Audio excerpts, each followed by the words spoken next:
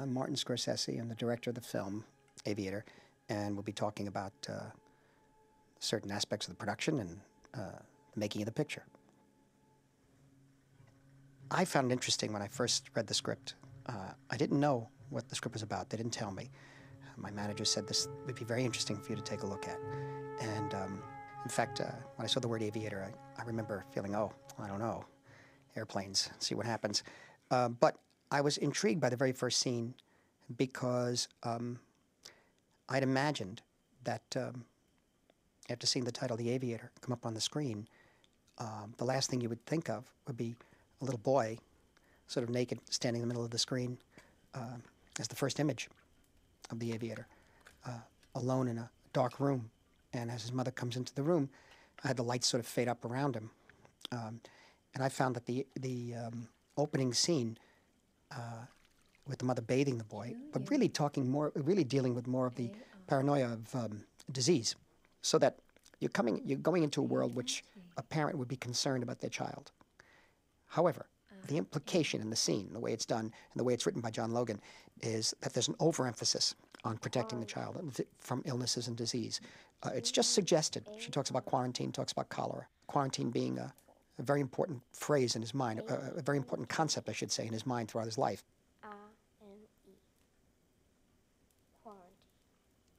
You know the cholera? Editor, Thelma Schoonmaker. I think Marty wanted to begin the film with a very uh, quintessential evocation of what Howard Hughes's life was like as a young boy. And he wanted to feature the boy alone standing in the room and then gradually bring the lights up. Uh, first one set of lights and then another, so that the reveal of the mother is, is slower and more mysterious. Producer Michael Mann. When we called it the Aviator, it was because that was the thing he loved the most. And flying was transcendent. He transcended all the earthly problems. What was incredible about him was all the things that he built and contributed, which we take for granted, which has to do with the formation of cinema, airlines as we know them, flying above the weather, and, um, and so, so the innovations are really quite incredible. Because of doing so many things with not only not only uh, building planes, uh, but that is building them with his with his with his associates, actually creating a plane, creating the fastest planes, um, but also uh, creating airlines, uh, also making movies. Uh, he was into he was, he was into everything until finally, I think, also distilled down to aviation mainly. I think his obsession really distilled to aviation. And so much a part of the, real, the, the world that we live in today um, has elements of what he's done, even including satellites. He was uh, I wanted to be everything scientist, um, daredevil, um, test pilot. Uh, he wanted to be it all. You're my voice now, make them understand that. Look, some of those fine folks down there still call me Junior. You tell them it's Mr. Hughes now. You bet. I mean, there are a lot of things that later on in his life, or even then, people could read these biographies that are around of his about him. You could say, oh, I, I totally disagree with what he did there at this time. I, I, it's a horrible uh, stand to take on that issue, on that, on that uh, in that situation. But ultimately, I mean, um, we're dealing with the younger Howard Hughes, and we're dealing with someone who's out there to uh, uh, change the world, really. Uh, yeah, it's about pride in a way, and, it, and pride really kind of does him in, ultimately. Uh, his own genes do it in a way, the obsessive compulsive disorder takes over. And the key there is, is um, to deal with, through Leo and his interpretation, the empathy uh, the emotion, uh, the feeling that one would have watching this man lose control. I mean, what we're trying to do with, the, with Howard Hughes here is the humanity of Howard Hughes. Even if in his later life he becomes the image of some sort of a monster or something, but there's still the humanity there, and that's that's what we wanted. That's where we that's where we um, uh, where we where we created the foundation of the character. Dante Ferretti and uh, Francesco Loschiavo was, was his wife they basically put back on, on the map, so to speak. They literally recreated the Coconut Grove, just, just I think a foot or two wider than the actual one. Um, and also recreated the exterior of the Chinese Grauman Theater because we try to we try to lay it out in Hollywood uh, with Chinese Grauman Theater the way it is now, but there's so many buildings around that we would have to uh, digitally uh, erase, and it would take so much. You couldn't tie up the traffic on Hollywood Boulevard, so it was easier to build uh, the exterior in a parking lot, which is what we did. And that was bigger, actually, than the actual Chinese Grauman, uh, just to be able to get the cameras in there and get the people going. So this is something that t- tons of research was done on, let alone the research done on the airplanes. The other thing that I liked about um, the representation of Hollywood in the film was, yes, you saw a couple of films being shot, but that's not that's not really it. Uh, what really is it is the um, the uh, Coconut Grove itself changes from the 1920s to the 30s to the 40s, and in the 20s you have uh, a certain look, uh, particularly the use of the color. Um, I wanted uh, uh, the color in the film up to about 1937 to reflect a color that style that I like, not a style but a technique, which at the time was the best they could do in Technicolor, which was two color. I think red and green, if I'm not mistaken. And uh, until they were able to get three color in there. And then, then things change around the three color period. That's around the time she he goes to visit her family in Connecticut. That becomes three strip Technicolor. But um, the two color in the in the 1920s uh, uh, sequence of the um, um, Coconut Grove, uh, the 20s, the costumes, that's exactly the costume of the cigarette girls at the time. All of that was pretty pretty much very accurate. Um, the two color, somehow the leaves are blue. I kind of like that. Um, and in a way, I guess that two color technique that we were trying to emulate, which I think we got pretty close to Rob Legato and Bob Richardson and a production designer and Sandy Powell. All of us, we had to do it in costumes. And for example, her dress that she's wearing in the plane when he says, uh, when, he, when he takes her up and flies in the plane, seduces uh, Katharine Hepburn in the plane, it comes off as a kind of beautiful beige now or something, but actually, I think it was mustard green. So we had to know what the colors were going to be like in two color. And so we designed the whole picture that way up to, up to that point in Connecticut. Um, and uh, the reason is that uh, when I think of old Hollywood, when I think of that, that time in the old Hollywood, I kind of see it in my mind as um, kind of memory, a sense memory of having seen films when I was a kid in a theater that had um, less expensive color techniques, usually two color techniques called Cinecolor and, and things like that. And so they were kind of magical in a way. So I imagine, to a certain extent, like a little paint box of Hollywood at the time, almost like a, almost like hand painted frames at the time, until you got into a, a full color three strip Technicolor, and then ultimately in the Senate where things become much more modern. You could talk about the color. Certainly, Richardson's uh, strength is uh, a dazzling frame, you know, which I thought would be great for uh, Hollywood of the 20s and 30s and 40s, and uh, particularly that Art Deco feeling I was talking about earlier. Uh, the sense of having grown up around me, around me, the uh, the future in my mind was images of the 1939 World's Fair, which I was not born at that time, but th- they were still around at the time, and the British film The Shape of Things to Come. William Cameron Menzies designed that, and I gave that to Bob Richardson and also Rob Legato to take a look at in terms of the sense of the futuristic look of the period.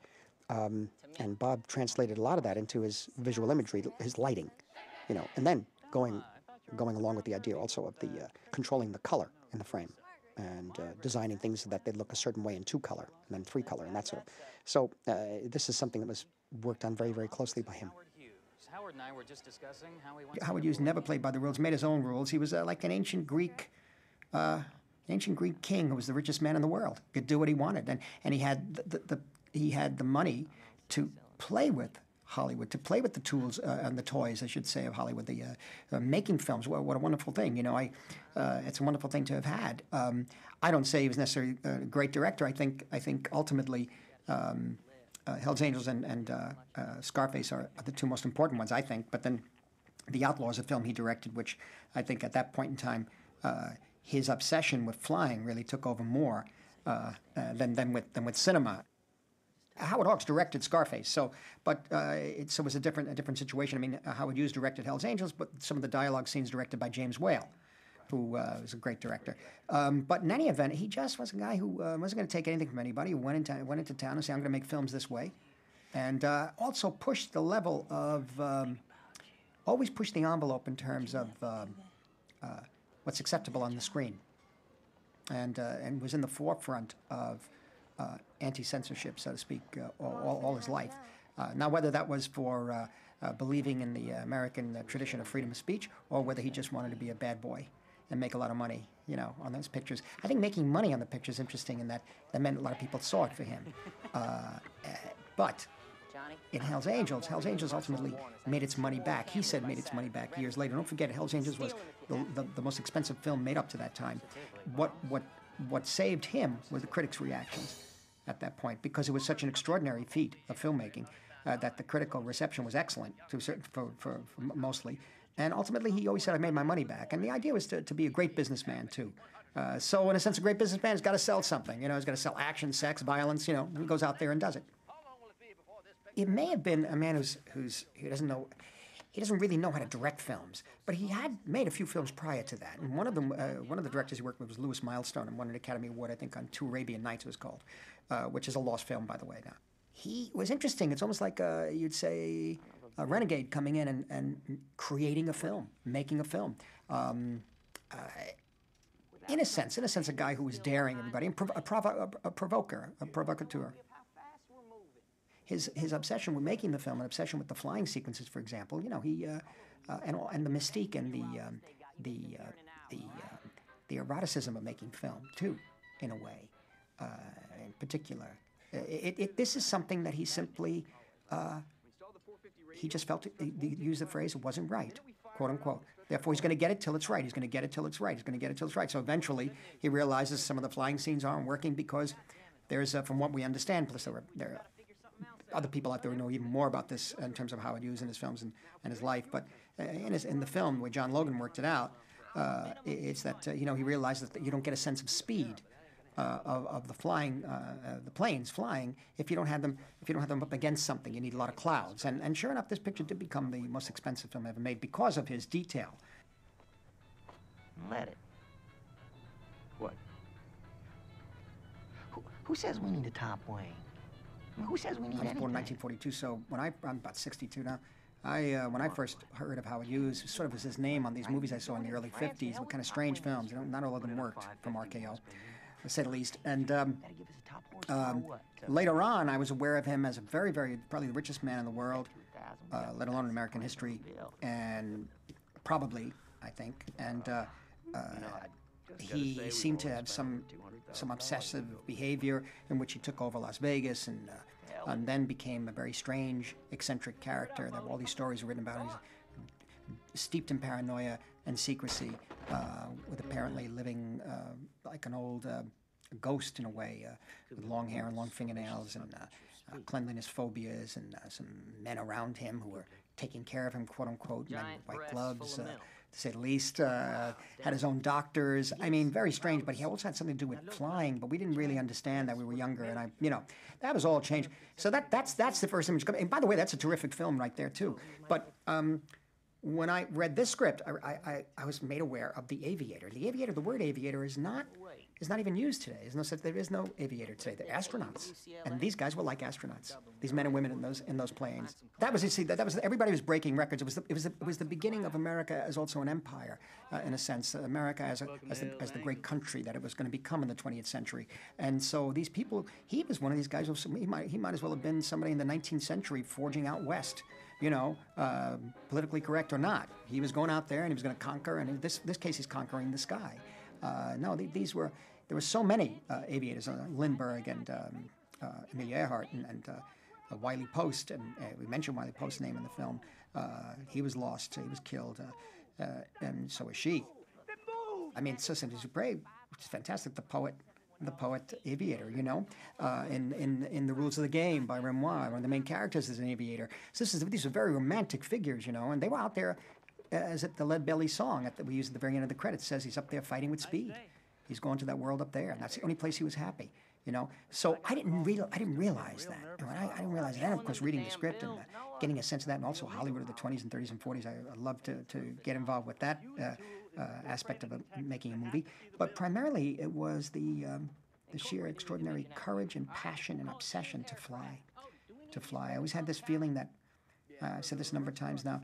As I think about it, I love the ancient world. I, I as a, a, hobby, I sort of read about. I read uh, ancient poetry and, and uh, uh, Greek literature, Latin literature, and you get a sense of the mythology, and you get a sense of uh, Howard Hughes being Icarus, you know, uh, with the waxed wings. Uh, his father making the wings for him, the way um, his father designed the drill bit, got him the money to make the wings, right?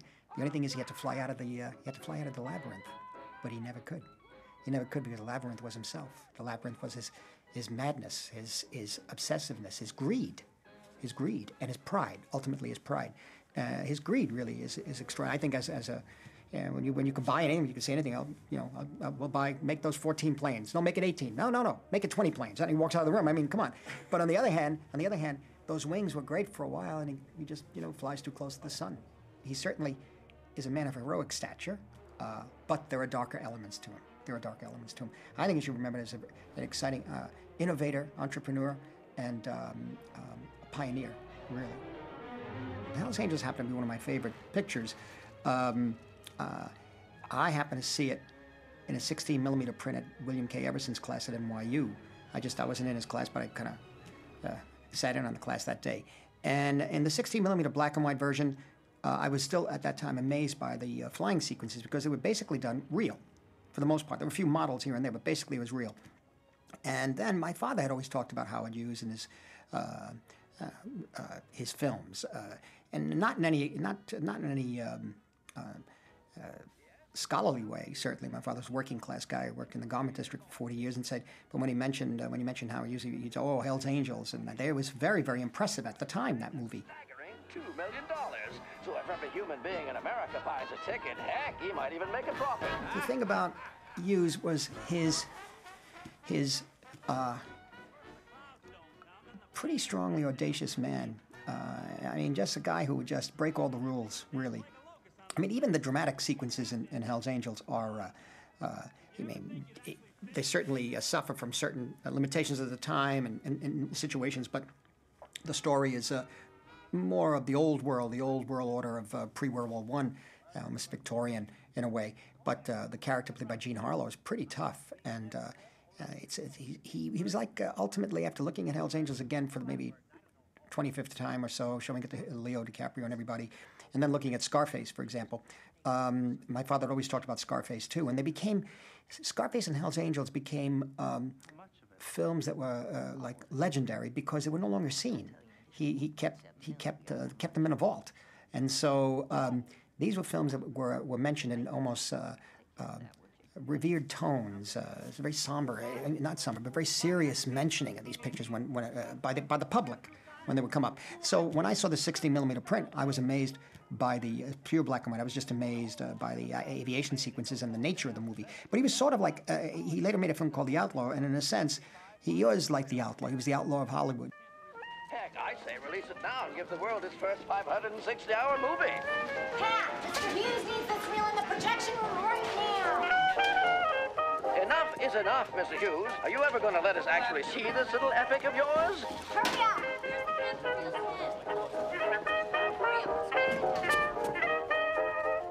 I've been born after the period of the, the romantic period of The Aviator. The period of the aviators from the 1920s and 30s. They were like astronauts, and they were very romantic figures. And I didn't realize as much. I mean, I knew about his, his experiments in, uh, in flying and engineering plane uh, and designing planes and engineering, but I didn't really know that he was as um, powerful and as important a figure as a Lindbergh or I'd say as, as, as, as you know Lindbergh, Amelia Earhart, and so many of the others, uh, Wiley Post, and so many of the other great aviators, Saint-Exupéry, and uh, at that time. And uh, I, I hadn't been aware of uh, all of the uh, extraordinary uh, innovations he made in aircraft and in, in, aviation, aircraft industry, in war, and, uh, and, and how we live today, too, is still be affected. I mean, the whole basis of commercial flying, basis on what he did, you know, uh, this whole pattern that we have of our lives is based on what he did. Um, and so his vision, really, getting people up in the plane, up in the sky, over 20,000, about 20,000 feet up, over the turbulence, is a key thing, you know.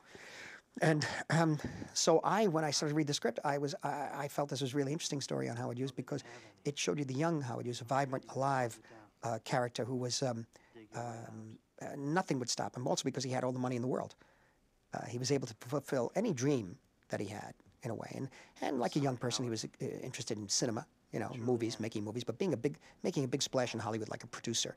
Because um, I mean, really, right around that time. Um, the, uh, the, the old pioneers in Hollywood, Griffith and many of the others, had shifted. The power had shifted towards the producer, really, in Hollywood, and uh, Irving Thalberg and so many others. Uh, Selznick was just coming up in a way, but uh, he was more uh, producer auteur in a way, uh, which also meant the spectacle. It meant the event of the film, not just the content of the film, but the event, of how you present the film to the public. You know, and uh, and so this was something interesting. I never really, I never saw the heights from which he fell. He fell. I never really thought about, I should say, the heights from which Howard Hughes fell. And I thought this would be interesting uh, because um, you'd see him as a young, vibrant man, full of ideas, and ultimately begin to see him being chipped away at while he's still struggling to to create and to invent and to um, live a life. You know, he's still struggling, but uh, throughout, despite this illness, he's able to uh, do extraordinary things in aviation. But by the end of the film, by the end of the film, he's trapped inside of his own self. More than half a million good souls lining the curb of Hollywood Boulevard. Marty had seen uh, the uh, actual promo film that Hughes himself had made of the opening of Hell's Angels, and it was quite an extraordinary event. There, it was the largest traffic jam ever that occurred in Hollywood, even up to today, I'm sure. Uh, huge numbers of people turned out for it, and uh, they had hang- planes hanging from over over the streets, uh, and it was quite a glamorous affair. One of the themes of the film is that Hughes wants fame, as does Katharine Hepburn, but he also can't handle it sometimes when he gets it. So Marty designed the sequence of him getting out of the limousine with Jean Harlow and entering Grauman's Theater uh, to show how horrifying it is for him when he begins seeing people reaching out trying to touch him. Uh, and of course, his germophobia would come into play there, plus just a feeling of suffocation from them all. So, Marty spent a lot of time shooting very, very tight shots of people's mouths, their eyes, their hands reaching out, and it was a lot of fun to cut that sequence. We cut it and recut it and recut it, and also uh, found that uh, on we didn't know this when they were shooting, but when the flashbulbs were going off on the face of DiCaprio, you could it was exposing the, his uh, eye so much that you could actually see back into the retina of his eye, and so we could we used those moments of the flashbulbs penetrating him that way uh, to great effect to great effect. It was it, it, really worked out. I don't think anyone realized that was going to happen, but you can see just there's a tiny black dot at the back of his eye in some of the shots where it's really flared out, and that's his retina. So um, it was a lot of fun to cut, and then uh, of course we had some special shots made for us by Phil Marco, who often does inserts for us of the flash bulbs uh, being crushed by uh, Howard's feet because in those days, those big flash bulbs they used, which almost looked like flash bulbs we use at home, uh, were ejected by the camera or they were taken out by the, the photographer. That's why you see them wearing white gloves because the bulbs were very hot and they had to untwist them and put a new one in. And they were just ejecting them onto the floor of the red carpet. And of course, Howard was walking on top of them. And this was also very horrifying to him. I'm sorry, Roscoe Turner. And this would be Gilmore.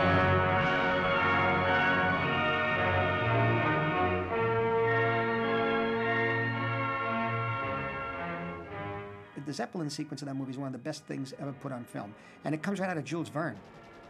It comes out of Jules Verne, and it's and it's extraordinary uh, in its in its audacity too, in what goes on in that scene. You know, I, I showed this I showed this 16 millimeter print uh, 10 years later uh, I got a hold of in LA, and I showed it my, I was living in LA at the time, 1976, I think it was, 75. 75, I think. Spielberg had just done Jaws. Roy was there. Spielberg, John Milius, a bunch of guys said, Well, you see this thing. We put it up on a little screen. They were amazed at the Zeppelin sequence. I mean, after each reel change, they would get up and talk about it. Milius made a speech after the film was seen. Is this kind of film I want to make? You know, really. And these were the guys at the time. You know, Paul Schrader was there, Brian De Palma. I mean, it was it was uh, it was a little. We were all sitting in the living room, half the size of this, watching this. And then eventually the film got restored, and then you could really see these extraordinary uh, aerial sequences the right way, which were that, that uh, they were tinted. Uh, the film had a lot of tinting and even a two-color sequence. But people had never seen the ferocity of those um, uh, aerial sequences. They were ferocious. The, the soldiers, uh, the, the flyers going down with the camera uh, right, locked onto the onto their onto the at the front of the plane, looking back at the flyer, and the ground is speeding towards it. That's real. And the blood is coming out of the fellow's mouth. I mean, you know, guys are taking drinks. I mean, they've never seen anything like this before. A lot, I mean, a lot of the, the, the, the flyers in the film, or uh, you know, World War One flyers, uh, like three or four, I think, were killed during the shooting of the film. Uh, I didn't get to see Scarface until the 70s, really, in the 16 millimeter print. Now it's been restored, I think. And it's a remarkable movie, and Howard Hawks directing. And uh, Uh, it's a, it's it's got it's such elegance and uh, but it is a violent film. It's a violent film and a tough movie. We screened it again to show. I wanted to show Leo DiCaprio what he was going to top when he came into town. I said, now you, you, what, I said, what what you have to do is you're going to have to see Wings by William Wellman, who was also a World War One flyer, by the way, and a great director, uh, real film director. Uh, Wings won the first Academy Award Best Picture of the Year. He was going to come in. Now Howard Hughes is going to come in. He's going to do a flying picture that tops that one. And thanks for unforgettable I never can. And memories that linger like a haunting tune. It is better to have loved you, dear, and lost, than never to have loved at all. Yes, it's better, for no matter what the cost, I held the world in sway, I never for a day. And thanks again for taking me on the road. Eventually, as I say in his life, uh, it, it just fell by the wayside, the filmmaking. I mean, he, he ran RKO Studios by that point, but by that point, was, his mind wasn't into really directing anymore, I don't think. But in any, in any event, I think uh, inexperience helps sometimes. It really helps because you don't know you're not supposed to do that. magazines that you play golf. On occasion. Well, how about nine holes? Now, Mr. Hughes?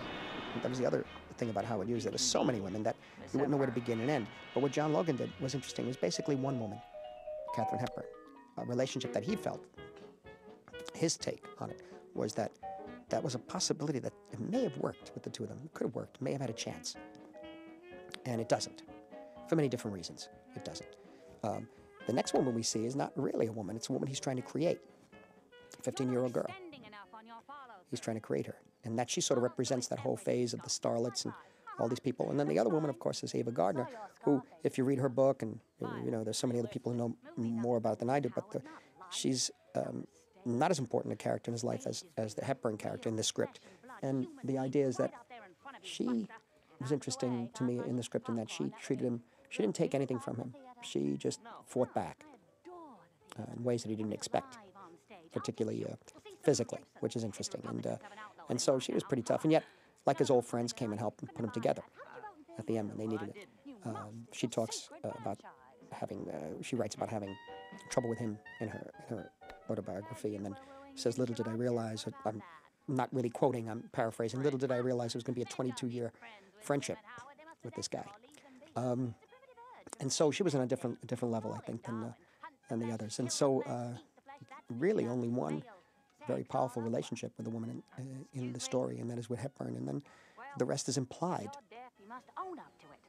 Get a hearing aid or see my father. He's a urologist. but Katharine Hepburn, I think, was interesting. Uh, I think they may have felt each other as being uh, unique people, very different kinds of people. That um, she may have been having, she may have had been having trouble uh, uh, fitting in. Also, I think she was uh, very unique for the time as an actress. She took a lot of chances during the 30s. The films she made, apparently, she was uh, not appreciated in the 30s for a long period of time. She was called box office poison after having won an Academy Award for Morning Glory uh, and doing a beautiful film in the mid mid 30s called Alice Adams, she was still considered box office poison. But if you look at some of the films she did during that period, they took so many chances, and she was so gutsy. Uh, she was also, I think, one of the first women to in Hollywood to dress in, in uh, male slacks, you know, and that sort of thing. And it was a very interesting person because uh, she was uh, that Yankee temperament, I guess, that the idea of coming from a very progressive family. I grew up in the period. I was born in '42, so I was still uh, still aware of the, the 1930s Art Deco look that was around me all the time growing up, and so I feel that um, I like the look of America at that time, and the idea of the, the forward pioneer, the idea of the, the Zephyr, the, uh, uh, the the sense of uh, the uh, super chief train that was going cross country, you know, designed like uh, designed like a silver bullet, as they say. The Thing is, TWA needs a new plane, a modern plane. Oh, yeah? Kind of plane. Okay. DC-3 has 21 daytime seats and 14 overnight berths. Something bigger. Try 50 seats with a ceiling of 12,000 feet. No. No, 20,000. Think about it, Jack. What does 20,000 feet give you? Less turbulence. Right, because it's above the weather. Jack, we want to fly above the weather. Only 1% of the American population has ever set foot on a commercial. Leo was so committed to this film. Of course, he was the one who wanted to make it, and uh, he was so committed to it. And the, the interesting thing, it seemed to me, I don't know if I'm right, but I think I saw him growing as a person as he was growing in the part of Howard Hughes. He it was very difficult because he had to shoot out of order a lot. It was difficult for everybody, the crew, Marty, uh, and because of actors' availability and things, he had to maybe one day be 20 years old and one day be 40 years old, and uh, that was very hard on him. But he did it without any complaint, and I, I think he would have shot 100 takes if Marty had wanted for every shot. He was so committed to the role, so anxious to do what was right for the film and for Marty that it, it was wonderful to, to watch the two of them work. And for me, as I said, particularly to watch him grow, I think, as a person as well as in the part during the, the entire shoot. You call Noah Dietrich. You have him start buying. Howard, hold on. Are you sure? You want to think about it for five minutes? Hell, Jack, I got a tiger by the tail here. I ain't gonna let it go.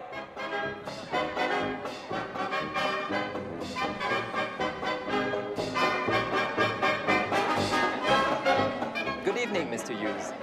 Welcome. Your table is ready. How goes the aviation, Mr. Hughes? I'm just fine, Pete. I'm so glad. Good evening, Mr. Hughes. Madame. It's Miss. Miss. The usual, Mr. Hughes. Please, yeah. And may I recommend for the lady our clementine soup followed by roast wild duck with currant glaze and poached pears and rose sauce. It's truly divine. Yeah. Well, Marty was just uh, so uh, good at shooting the musical numbers in the film uh, with wonderful camera moves and uh, dramatic introductions of some of the singers. For example, one of my favorite moments in in the the uh, second sequence in the Coconut Grove is when the singer stands up into frame uh, and starts singing Happy Feet. I just think that's a, such a wonderfully startling moment, and it always gets a huge laugh uh, from the audience. So Marty always thinks out very carefully how he's designs very carefully how he's going to shoot musical sequences. He loves them. Johnny Meyer, I suppose you could call him my uh, press agent. Pleased to meet you. Love Janelle Savin. You're too kind. I'm sure you know Errol, right? Mr. They're all enjoying themselves at the Coconut Grove, and Errol Flynn comes over and uh, causes trouble at the table. And, and there's just overlapping dialogue and that sort of thing. We really wanted the energy of the period, you know. And that could be any that could be in any any time. It's just the nature of the place itself, where everybody's together and drinking and having a wild time. But uh, there seems to be something frantic about the uh, need to uh, uh, enjoy oneself at the Coconut Grove in those days. Um, maybe it's the depression, and I think they were all out of their minds probably, and uh, who knows what was going on. But the depression was so bad, and movies were the biggest thing in the depression. Everybody wanted to go see movies, and the actors were just running around. Basically, you had a, a situation I think where, to that the public wanted to know so much about the actors, and the studio would um, create an actor in a way.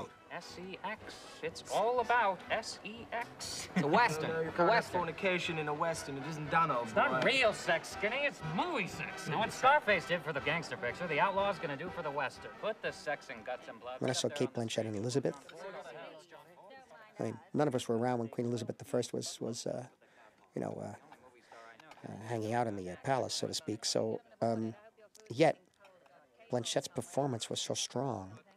Uh, I should say, um, comfortable. I felt yes, I felt comfortable watching that Elizabeth. In other words, I, I really believed it was an aspect of what could have been the real Elizabeth. You know, uh, or at least she touched into a certain thing with a woman with power who had to fight for that power. Um, uh, who came from a family in which uh, everybody's being killed basically, and she wound up being alive somehow, and then winds up being the queen of the country. And I think that was really interesting for me because she has an authenticity is what she tapped into, an authenticity. Um, then I saw in a movie called The Gift, which is a very good film I thought, and um, Sam Raimi I think directed, and and she plays a woman in the South who has a a gift of uh, extrasensory perception of some sort, you know, and um, quite honestly, I didn't know it was the same woman. I didn't know it was the same same actor, really. I gotta, I gotta go. You'll excuse us. We have, uh, we have to be somewhere.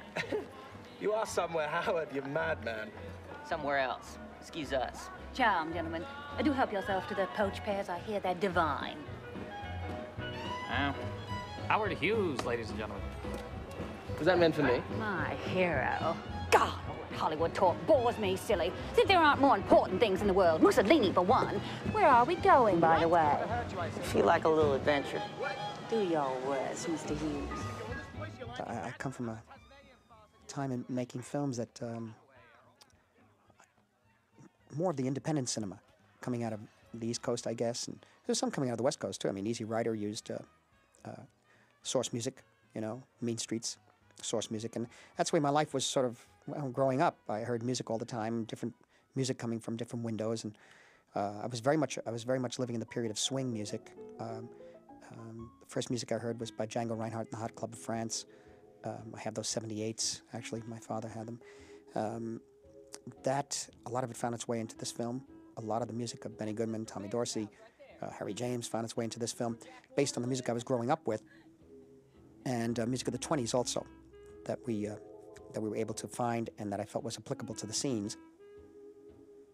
Howard Shore gave us a score that was um, something that sort of reflected the mystery and I think um, kind of the energy, the energy of Howard Hughes ultimately. But the mystery of Howard Hughes, if you watch that first scene, if you watch him in the screening room um, after he's told he has to, uh, he has no more money to finish Hell's Angels, and he says, Mortgage Toolco. And John Reilly leaves, and he touches the edge of the chair, and he starts to feel something on the chair. Listen to that. The music has a certain anxiety to it, and also the use of castanets, which is something Howard Shore wanted to do because I thought it was interesting because of the Southwest, the idea of the pioneers out there.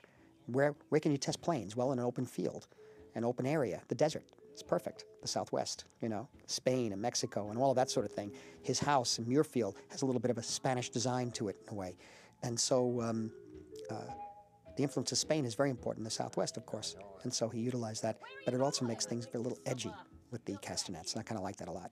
And so um, it represents anxiety, but also uh, uh, his, his drive, his obsession, his spirit, really, particularly when he takes off in the, uh, the Hercules at the end.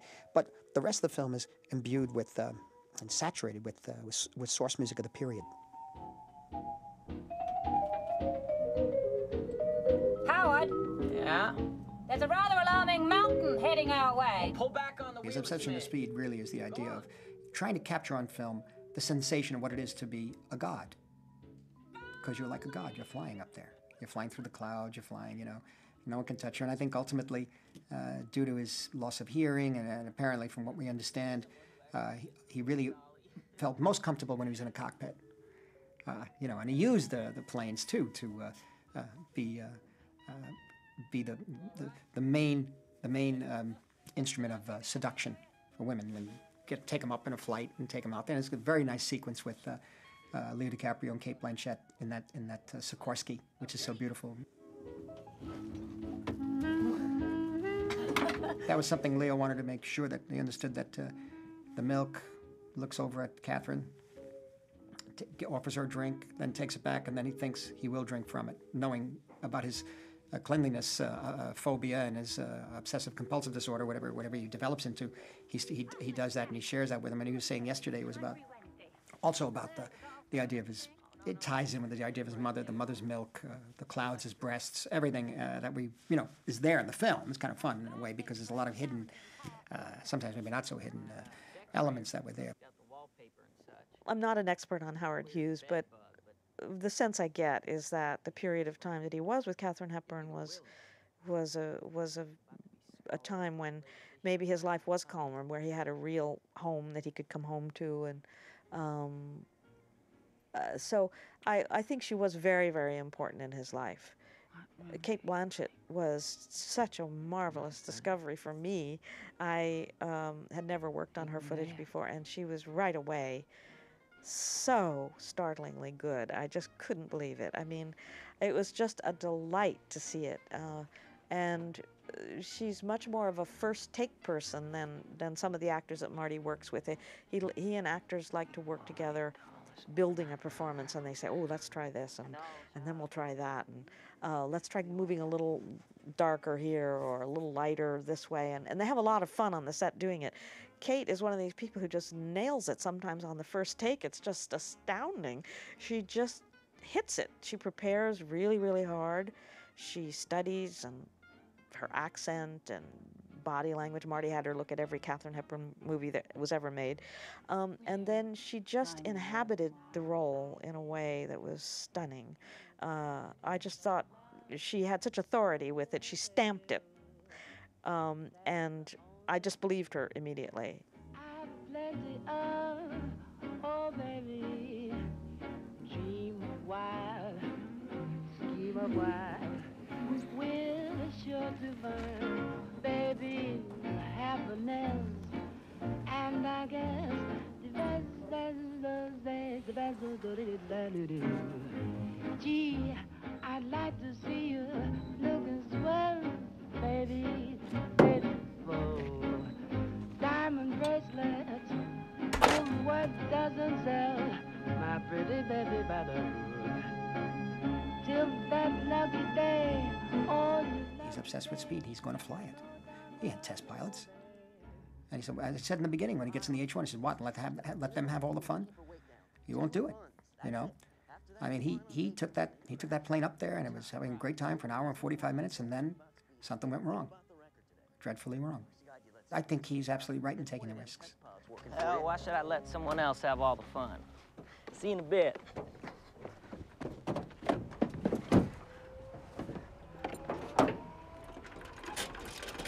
It dealt with his, it, it was, uh, it was uh, sort of being uh, enveloped by his obsession. You know, just diving into it and swimming in that river of obsession. You know, what are you gonna do? Stand out, stand on the side and look at it? you know, I wish I could jump in there. No, no, you jump in. You know, it's like filmmaking. You're gonna jump in. You start, very often you start, and you're younger. Even every time I make a film, and it's the first time you look through the viewfinder and something, or you, you, you know, you realize again mm, uh, for me and uh, maybe others, like I don't know if I can speak for everybody uh, who makes movies, but you realize the enormity of what you're taking on, even if it's a three-minute short. I- I- you know, the size of the frame, what's in the frame, what's out of the frame, and uh, that is what you're made for. That's what you're made for. That's what he was made for.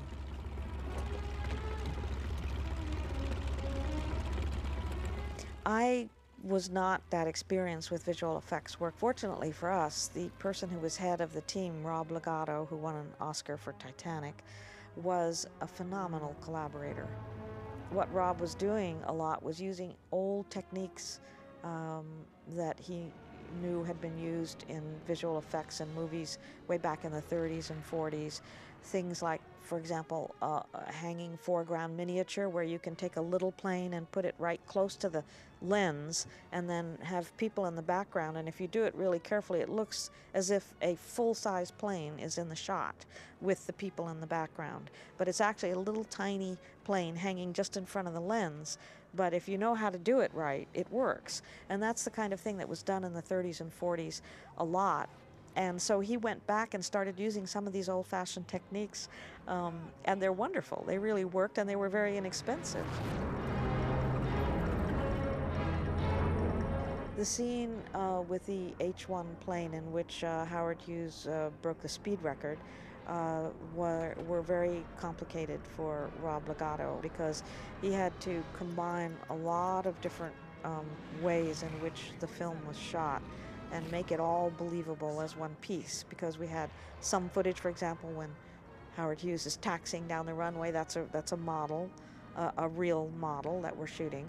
But then once he takes off and goes into the air, then you're, we were combining, or Rob Legato was combining uh, shots of a model of the plane being flown by remote control over the, the mountains and uh, so that you got a feeling of the plane actually flying in the air.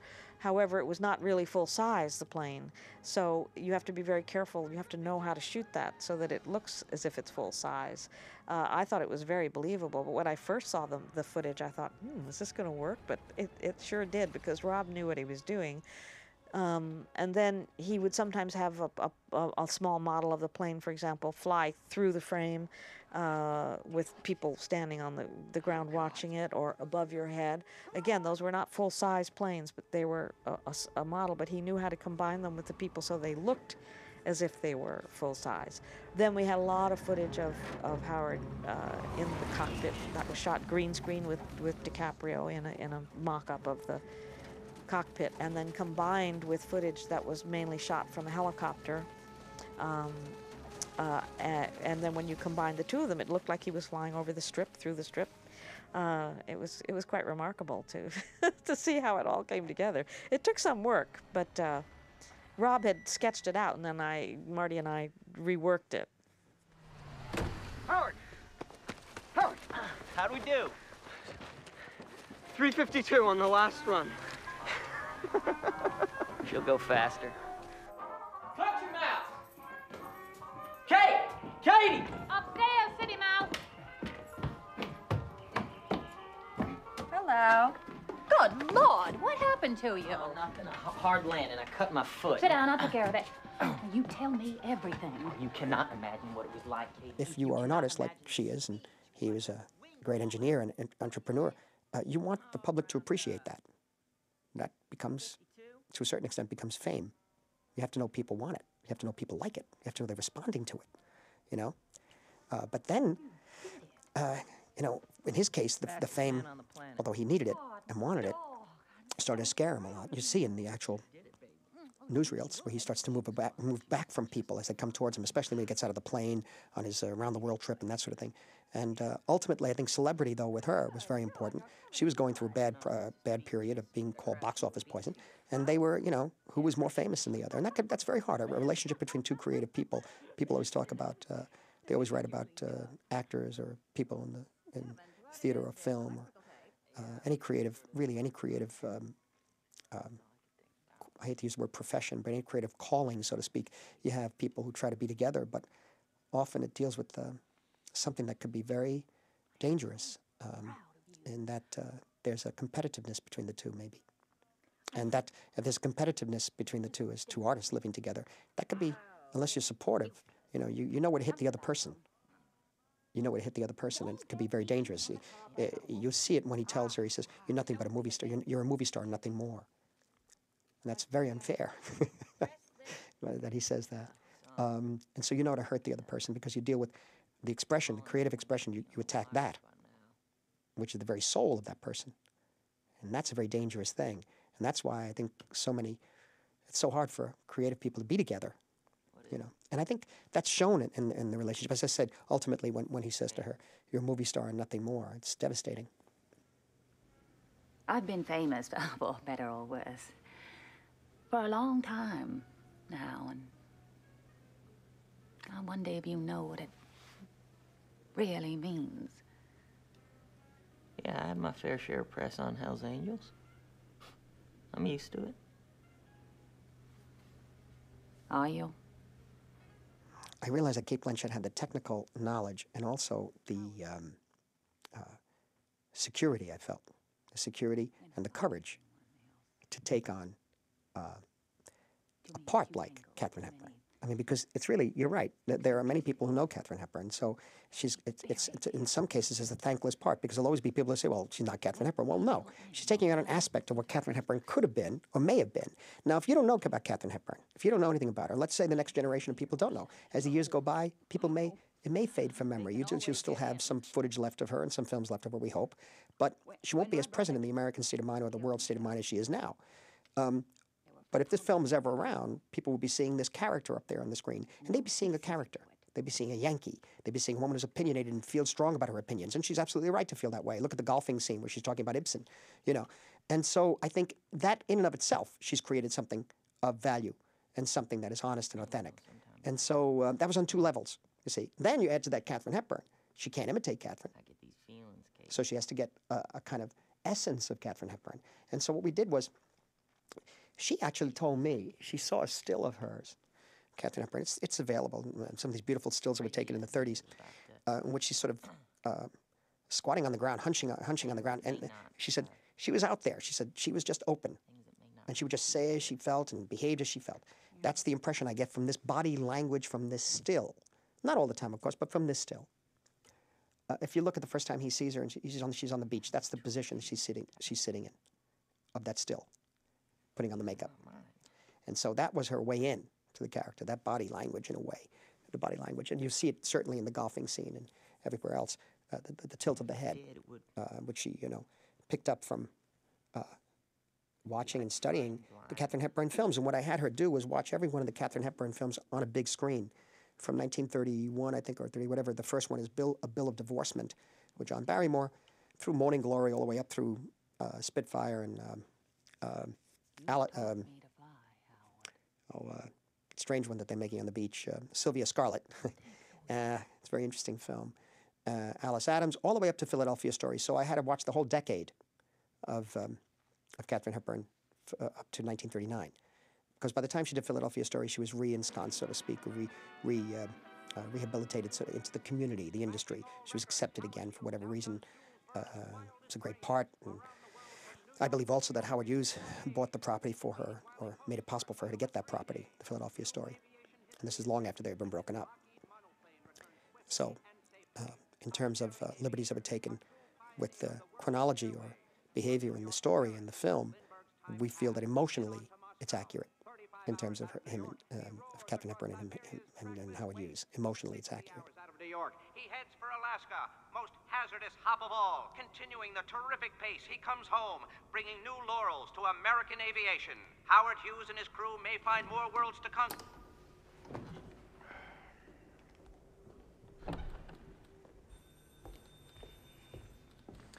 You're not going to believe this. Just came across the wires. Howard Hughes has bought control of TWA. I thought Mr. Hughes was flying around the world. Apparently, he did it while he was flying over the radio.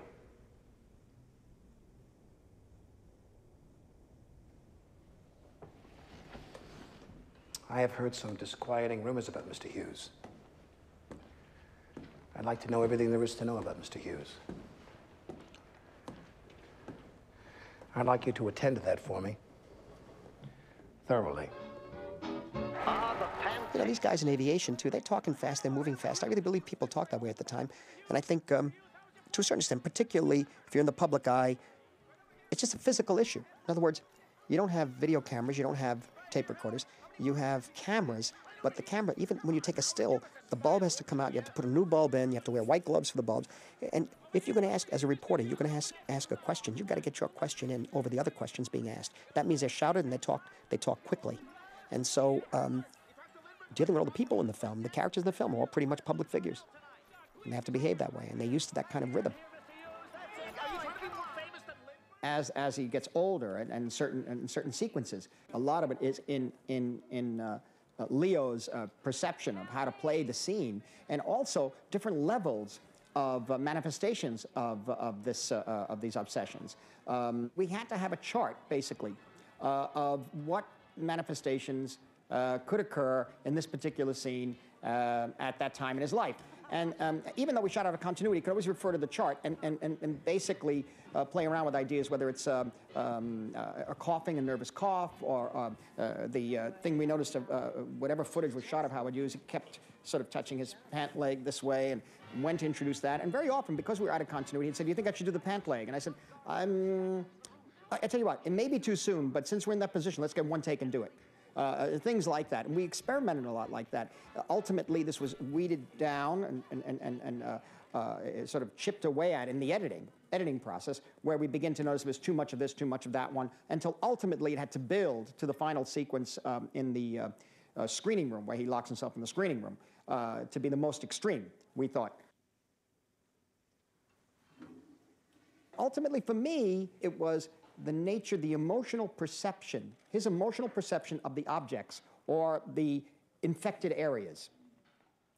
It's how he saw them. That means that it's the angle of the camera and it's the, it's the size of the frame. And uh, do you do it from his point of view? Do you do it from uh, a side? It, it, it, went on and on like this, and actually uh, was part of some more enjoyable aspects of making the film. Uh, because, um, for example, and there's a scene where uh, a gentleman has polio and is in a, in a, men's room, and he says, "Could you pass me a towel?" Could you uh, reach me a towel? And uh, Howard Hughes looks over at the towels, a stack of towels. he wait, his head moves. We see Howard's point of view with the towels. That means that the camera's aiming down from his eye line, and the towels are looking up at him as if to say, Dare to touch me. Now, cutting back to Howard's reaction, um, it's from the point of view of the towel. And so we were, we were I was, I was uh, really getting very, very much involved in the almost a, um, uh, sort of a, uh, an animation or, or, or, of the actual objects or the infected areas of the plate, uh, many different scenes, particularly a scene with the doorknob. The scene with the doorknob becomes uh, rather important. Forget it. No, no, I'm a vain, preening ass without a single redeeming feature. Well, that's not true. You have very good teeth. Come on. I've got a better idea. Take me flying. Or, or better yet, I'll take you flying. Do your worst, Miss Hepburn. Some of these days, you're gonna miss me, honey.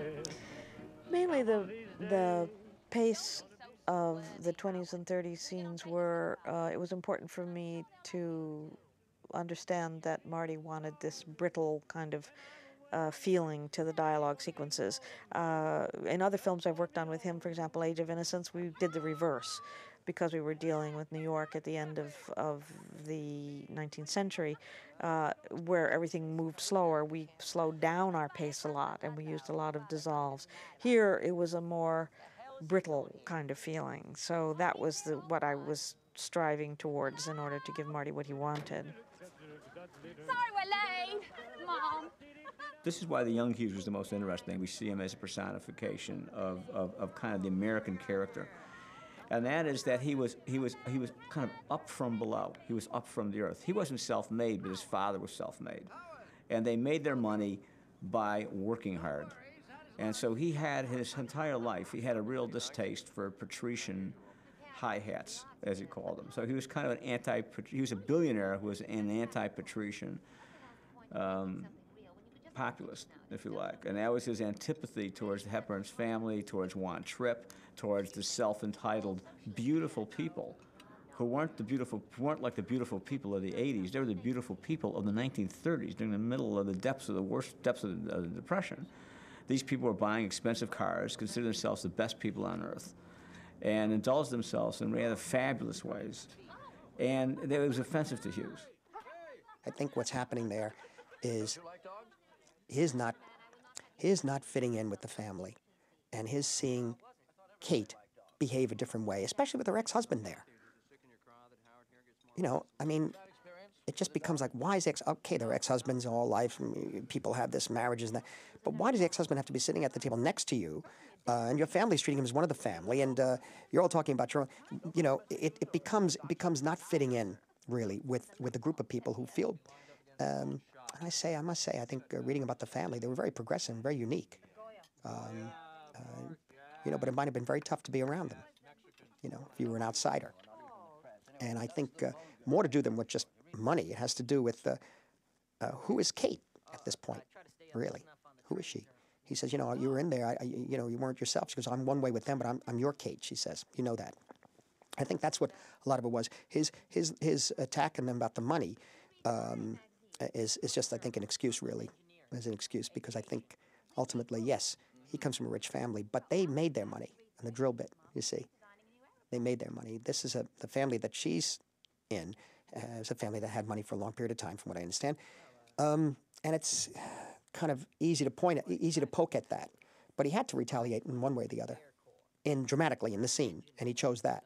But ultimately, I think it's about her being a different person with the family and not really seeing that he could, not really knowing her anymore. But when you're dealing with uh, Ava Gardner or Kate, uh, Kate Hepburn, and you're dealing with somebody that can be seen on television right now, you know, practically every day there's one of their films running. But that doesn't mean, though, that what a person who's 21 years old or a 15 year old or a 12 year old is seeing uh, the Philadelphia story or Sylvia Scarlett or Mogambo or the Barefoot Contessa is going to have the same impression that we had, me speaking, I'm 62, that I had back in 1952 when I saw, 53 when I saw Barefoot Contessa or 52 when I saw Mogambo or, or when I saw uh, Katharine Hepburn working in uh, at the present. In other words, in, in, in, its, in its context, Pat and Mike with Spencer Tracy, uh, The African Queen with Humphrey Bogart, and then going back on seeing her older films on television and all that. So I, I didn't know even then when I saw her older films that during the 30s she was considered quote unquote box office poison after having won an Academy Award. Uh, so that that if one, we hope we, we worked on the film, and the script, and the actors in such a way that we hope that if those of um, those people who do know of Katharine Hepburn to a certain extent could feel that, yeah, this is a sense of Katharine Hepburn and, and Gardner. And there are those who, who don't know and may not know until later on or may not be interested to know. But at least then we have a person who's a very strong character, uh, the Yankee character, you know, a Yankee coming from a socially progressive family and uh, a force of nature the first time he meets her, you know, on a golf course. Force of nature, you know. Uh, and somebody so disarmingly, uh, uh, extra- extraordinarily beautiful uh, for who she is. And I think that's uh, something Cate Blanchett really created. Really, though, darling, you can't retire from the field of battle like that or they'll never respect you. Katie, I don't understand. You're like a different person in there. Oh, they just expect me to be a certain way. There's only one real Kate, and that's your Kate. And over in Hollywood, aviation tycoon Howard Hughes seems to be cooking up something big. Even as he edits his newest motion picture, he's been secretly meeting with the U.S. Air Corps. The Outlaws, of film, is very interesting. I, I'm not a fan of it. I'm not a fan of the picture. Um, I think he, I think something went wrong there, and I think really maybe it was he had already had several plane, a couple of plane crashes, um, and uh, you know I think he was trying to control such. He was trying to control the. Uh, um, the movement in the frame of the actors in such a way. There were number sometimes um, 80 takes, 40 takes to 80 to 100 in some some points. I know uh, some of the old, uh, some of the great actors there, Thomas Mitchell and uh, Walter Huston, uh, did did become extremely frustrated at that point. At certain points, Jane Russell was her first film, and Jack Buetel fir- his first film. They were fine, and it's uh, again pushing the, the bad boy, pushing uh, pushing the the envelope of censorship, and but the outlaw, I think, suffers from from uh, obsession over uh, direction in a way. A director has to be obsessive, but here, I think in that film, you might see the obsession over, over the direction in a way, and the writing of it. All right, boys, I want you to rig up something like this. And there are many other films that could be made about Howard Hughes. But what's interesting about this one was that it was dealing with only 20 years of his life. Whereas, uh, if you asked me to do a film on Howard Hughes or some other characters in my time, I've, I've gotten bogged down in biographical films because I want to tell the whole story, starting with the boy and going to the very end, the, uh, the, the death.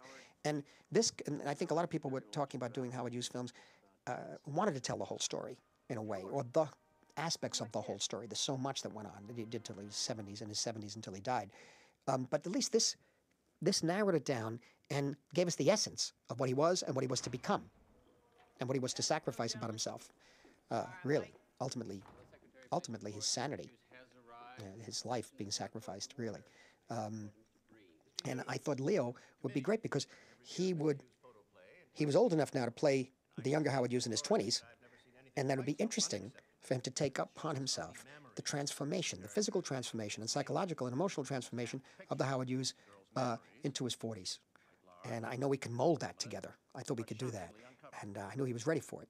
I just felt it because I think he sort of, he was still young when we did, uh, he was still like a, a boy in a sense when we did Gangs of New York. He was still Amsterdam, the boy who grew into a man by the end of the picture. Here, here, I could just imagine him directing those planes in the air.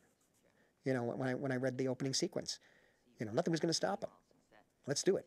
And I think that's the way a lot of very talented, brilliant, young, uh, creative people are.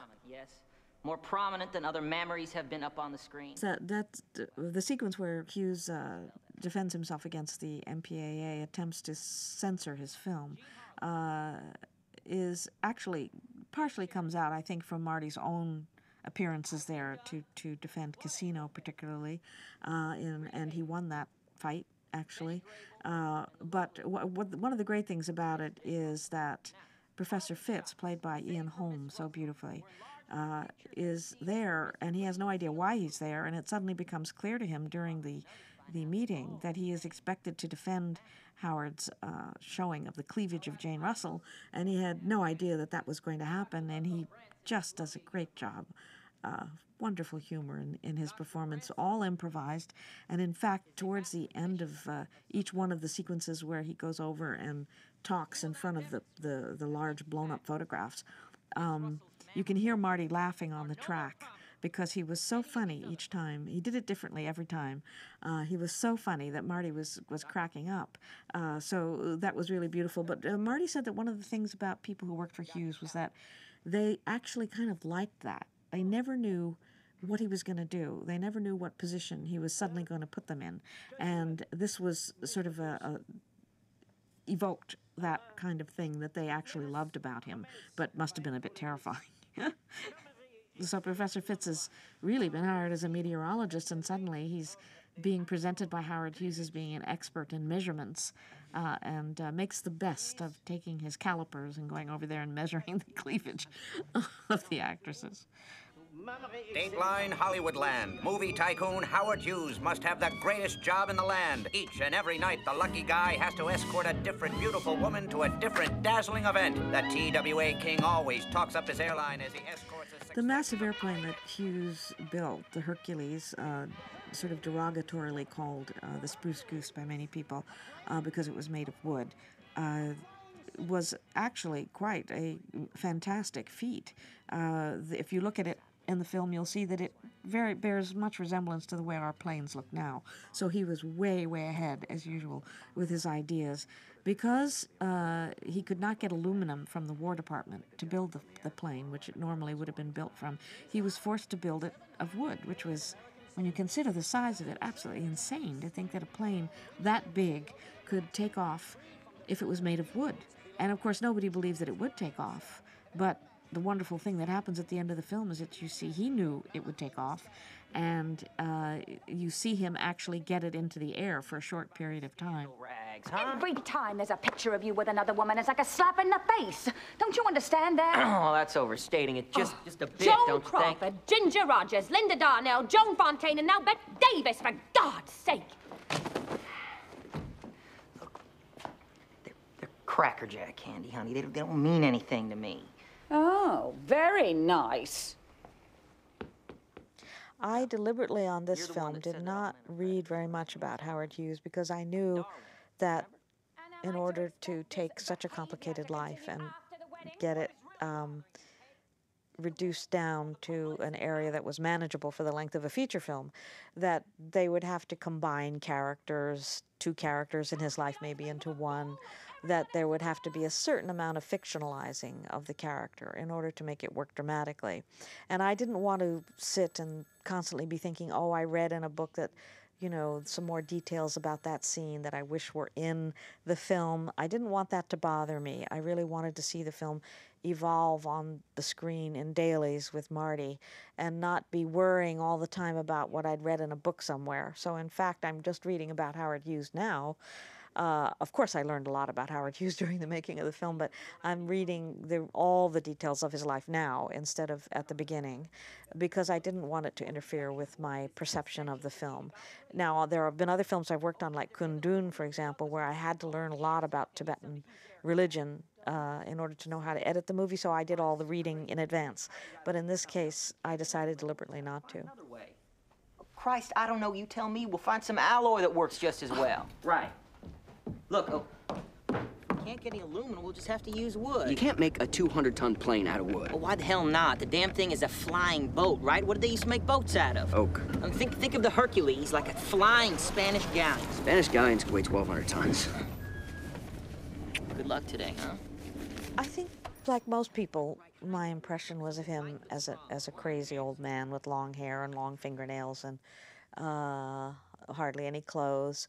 I did have some sense of him having been a very good filmmaker, uh, but and a few pictures I had images of him with his mustache when he was younger. But basically, I have to say that mainly it was the the negative image of him uh, as an old man, and it was so wonderful to know that what Marty basically wanted to focus on in this film was his genius, his great uh, inventions in terms of, of aviation um, in this the century, and he was he was a, a very very famous man during this period that we uh, that incorporates our movie. He was on the cover of Time magazine. He was extremely well known uh, because of all the exploits he was doing, flying around the world and breaking speed records in the desert, but then also flying around the world in record time, uh, constantly pushing the edge of uh, the development of airplanes, so that the airplane that we know today uh, is really a plane that he had a great deal to do with shaping. So it was. I was glad that we were going to be focusing on the the part of him that has been forgotten. Unfortunately, it's quite amazing because he was so famous in his own time, incredibly famous, but we've forgotten all about that. So hopefully the film has brought that back to people. Every inch of her myself. She's got a top speed of 450, which means she can outrun anything they throw against her. Yeah, after the Japs stole my H1 design for their goddamn zeros, I figured I needed to do them one better, right? Yeah. She's my Buck Rogers ship. She's a looker. Okay. What do you got for me? We were shooting in Montreal in a large studio, which allowed us to have many huge sets uh, functioning simultaneously, which was uh, very convenient for Marty. If sometime they were turning one of those sets around to a, to a different era, uh, he could go shoot on other sets. But uh, Dante again made this a very, very large set. So high cruise power, you're looking at a top speed of around 340. Giving her a range of about 3,000 miles. Uh, he was very much salt of the earth, even though his he had inherited money from his father. His father made that money, and um, you know, so we like that. We like that about him. Um, we identify with him because he pushed his dream to extremes that were even self-destructive. Um, because nothing nothing really ended ended well. Bob, you got something on your suit. Yeah. On your lapel there, you got something on your lapel. Bob, Right there, Bob. You missed it right there. Clean it off, would you?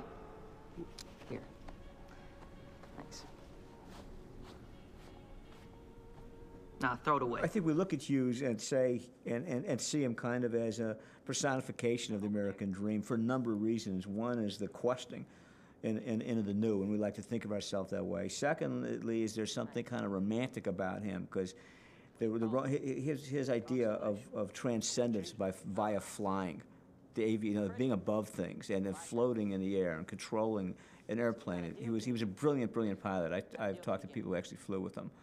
And, um, you know, that whole notion is, very, is a very romantic notion. with her? Hell, more than that. You're not an American, don't have the imagination for a plane like this.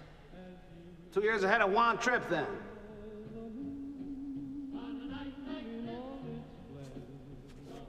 How much? 450,000 each. So that's 18 million for the first 40. Hell, TWA can't afford that. The damn airline's flat broke. Guess I'll just have to pay for 'em myself.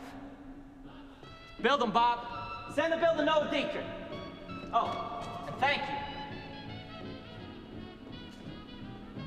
Merry Christmas.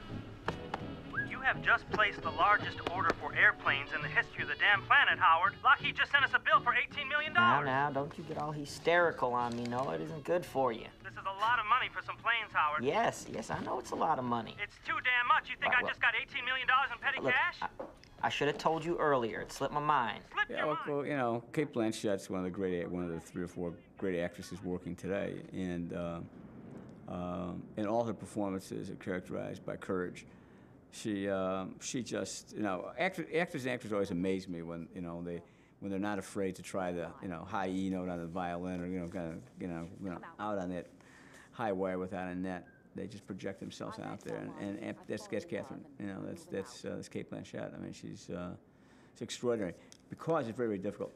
Katharine Hepburn was a theatrical personality. That's dangerous territory. That's a minefield if you're an actress to portray an actress to portray another actress who in fact had, had a very theatrical demeanor about her, and um, you know, and she, she she captured it extraordinarily. She actually does not look like anything at all like Katharine Hepburn, but it doesn't matter. You know, you get right past that when. Uh, you know, when I when I had to figure out how to portray Mike Wallace, somebody who we see every night, every Sunday night, you know, it, it, it, it it's the same thing. You you look for the inner person, and you let the inner person inform the gestures and the attitude and the body language, and that's how the impression is created. It's not by not not not by not by makeup. You know, it's not the actual physical resemblance.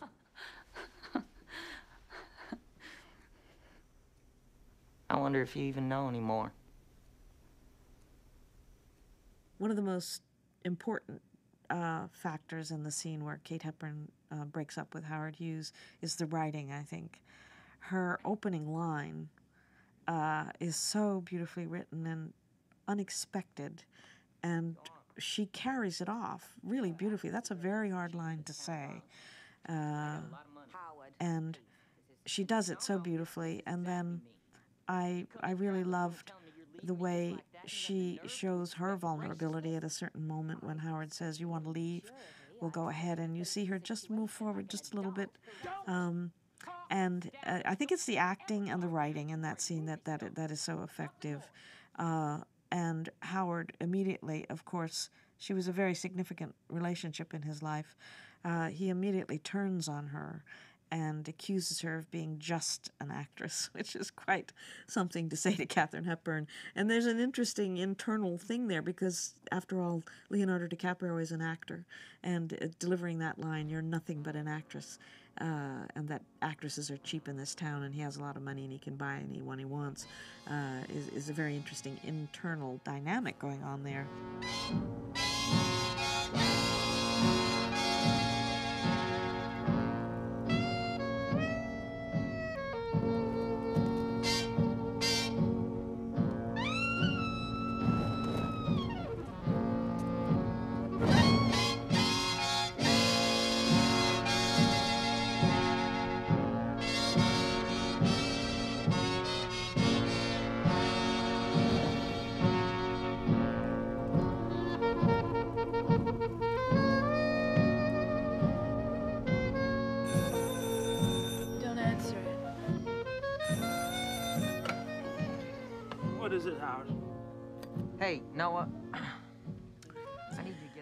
Surprised when Marty told me he was going to shoot two sequences in the film split screen. Um, I was nervous about it because I sometimes think that it can reduce the impact of, of both images when you have two of them together.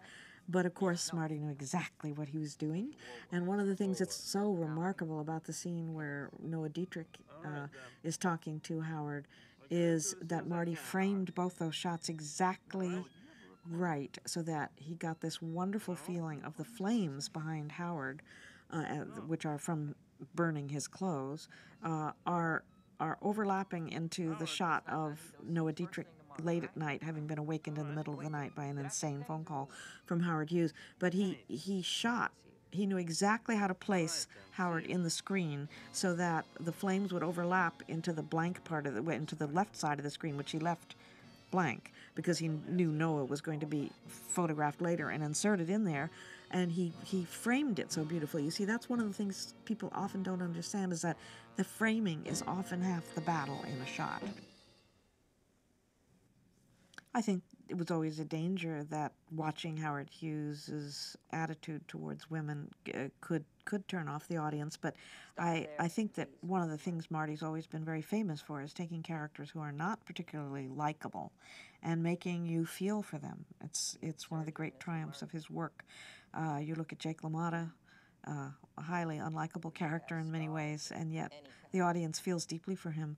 And the triumph here in this movie is that um, Marty and Leo were able to make you care about Howard Hughes, as crazy as he got, as manipulative as he was. Um, and his attitude towards women is, is certainly not politically correct today, but that's the way he was, and there was no point trying to hide that. That was part of his personality. And I, I just think it, it sets up the fact that Howard is now going to go out and try and create a person for himself that will, uh, he's no longer going to open himself up maybe to be hurt by someone like Katharine Hepburn. He's going to go out and audition Faith Domergue and create her into his girlfriend the way he wants her. Dress her, change the way she looks, uh, give her grooming lessons and uh, lessons about how to talk doesn't work out very well, but he had a long relationship with her. How old are you, Mr. Murr? 15? Holy Mother of God.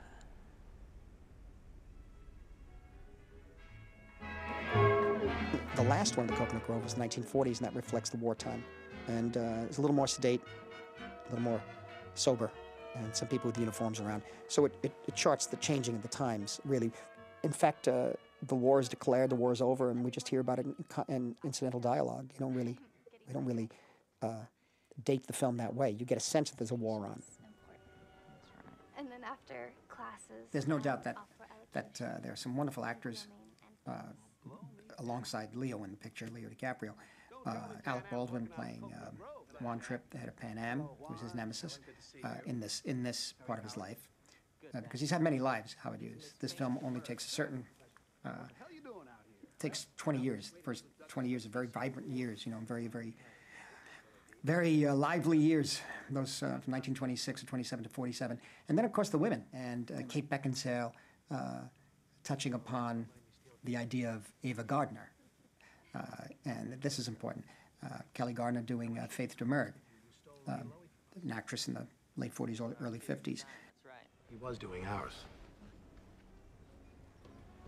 So, what are your colors? Stop fishing. the beautiful set that Dante Ferretti built for the Coconut Grove nightclub sequences uh, was wonderful to, to watch coming to fruition when we were up in Montreal. We were we had a lot of sets up there, and Marty could move from one set to the other uh, in a large complex. But uh, Dante spent a great deal of time creating this one for the 20s, and then he revamped it for the 30s. Uh, and the the dialogue sequence that goes on in that scene uh, was interesting for me to edit because it was designed by the writer and then shot by Marty to be overlapped. So everyone is talking on top of everybody else because Marty wanted the feeling of the dialogue sequences he had seen in movies like Front Page, where there's this bright patter going on all the time. Uh, and normally, when you shoot, you don't allow actors to overlap each other because the editor cannot get in and separate their lines. But here, I had to learn how to make all of this heavily overlapped dialogue work. And actually, it turned out pretty well. We only had to, to actually re record a few lines um, so that uh, all this talking on top of each other actually worked out exactly like Marty wanted. To Ireland.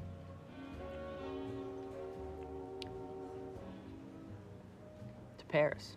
Uh, I think in the nightclub sequences we didn't cut that much. Uh, later, in other scenes in the film, we did we did cut a lot, and trying to make tr- transitions uh, that we where we had had to truncate a transition or something. That was that was a bit of work to try and smooth out uh, something that had had to be dropped, for example. But in, in the nightclub sequences, I think they went pretty much as planned in terms of, of him revealing the musicians and the band and. Uh, sometimes we just use little punctuation, little tiny moment of a guy hitting a cymbal, for example, and that would be like a punctuation on the end of the scene. That wasn't intended by him, but but it just worked out to for us in the editing. It worked out beautifully. I never knew you were such a good dancer. Helen? Jack? Good going, boss. You just gave away our entire post-war strategy. Ah, he can't stop us. He's Pan Am, Howard. He can stop anything. Waiter, give me the largest scotch you got. What in the hell you're so goddamn giddy about? Excuse me.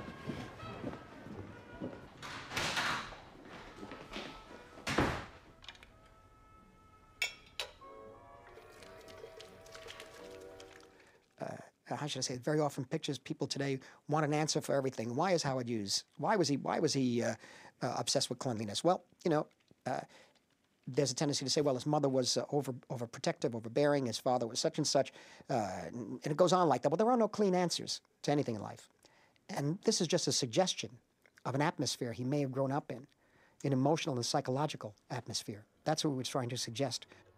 It's a fascinating story for me because he's the richest man in the world, and yet he's not safe from himself.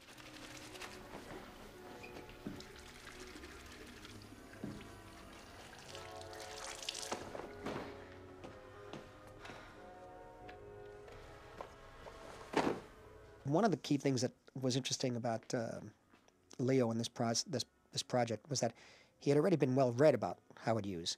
But you can read all the books you want. You have to sort of try to behave like Howard Hughes, try to understand why the, why the behavior uh, is occurring. Uh, and also put yourself in the frame of mind that, you know, there's no way you could understand it. He didn't understand it when it was happening. When his mind got locked, it got locked. He couldn't get past a certain phrase, he couldn't get past it. If he was afraid to touch a doorknob, you know, the movie's about aviation, gods flying in the air, giant film, giant films being produced, but also it's about a doorknob.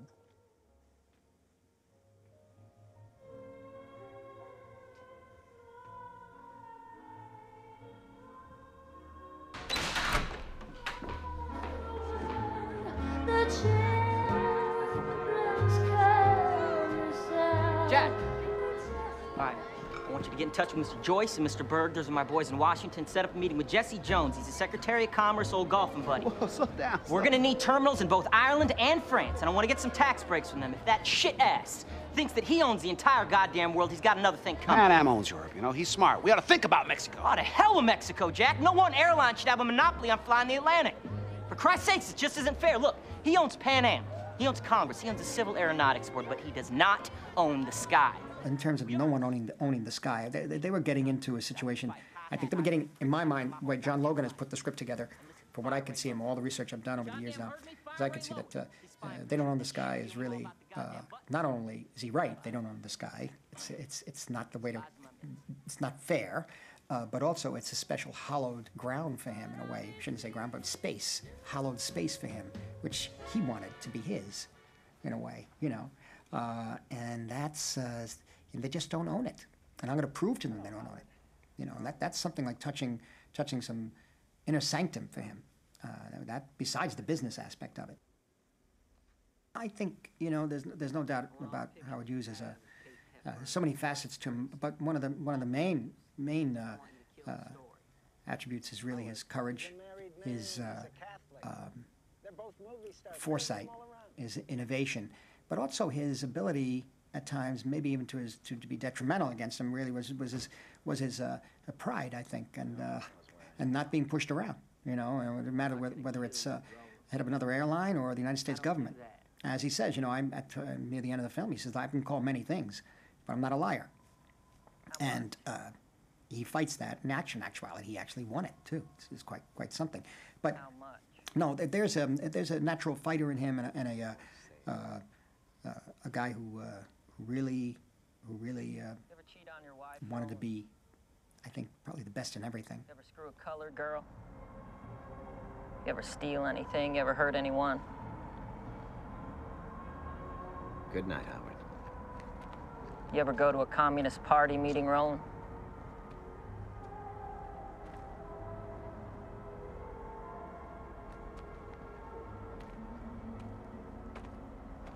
TWA stock. How much? 50,000 shares. Ten. All right.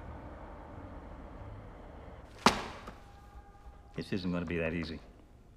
He's been making big contributions on both sides. Alec. Baldwin uh, as Juan Trippe.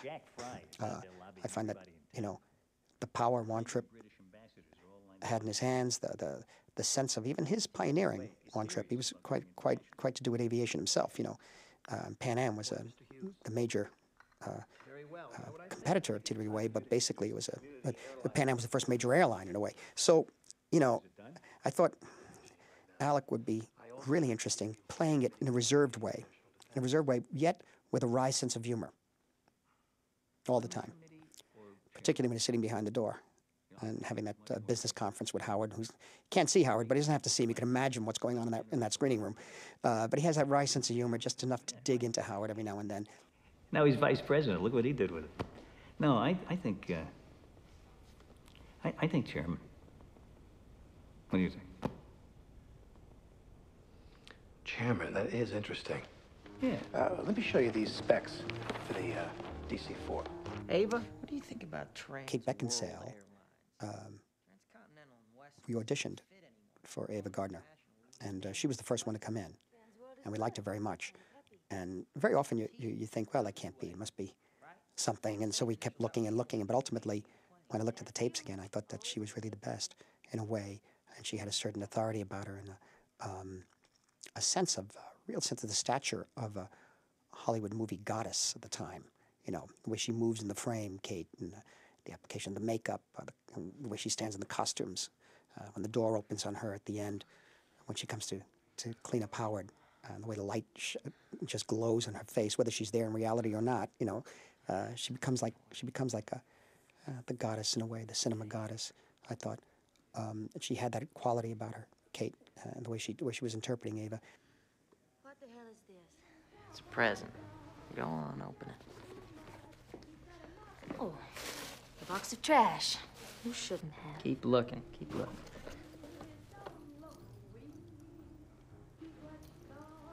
It's a Kashmir sapphire.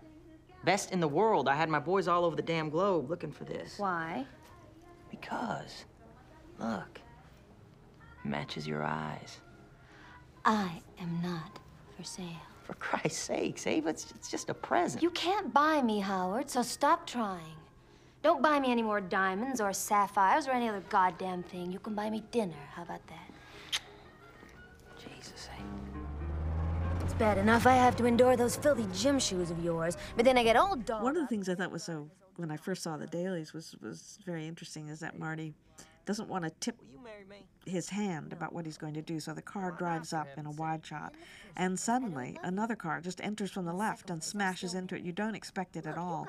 Other directors might have cut to the front of the car coming towards them, but Marty deliberately didn't do that. He wanted to have it be as much of a shock for the audience as it was for Howard and Ava.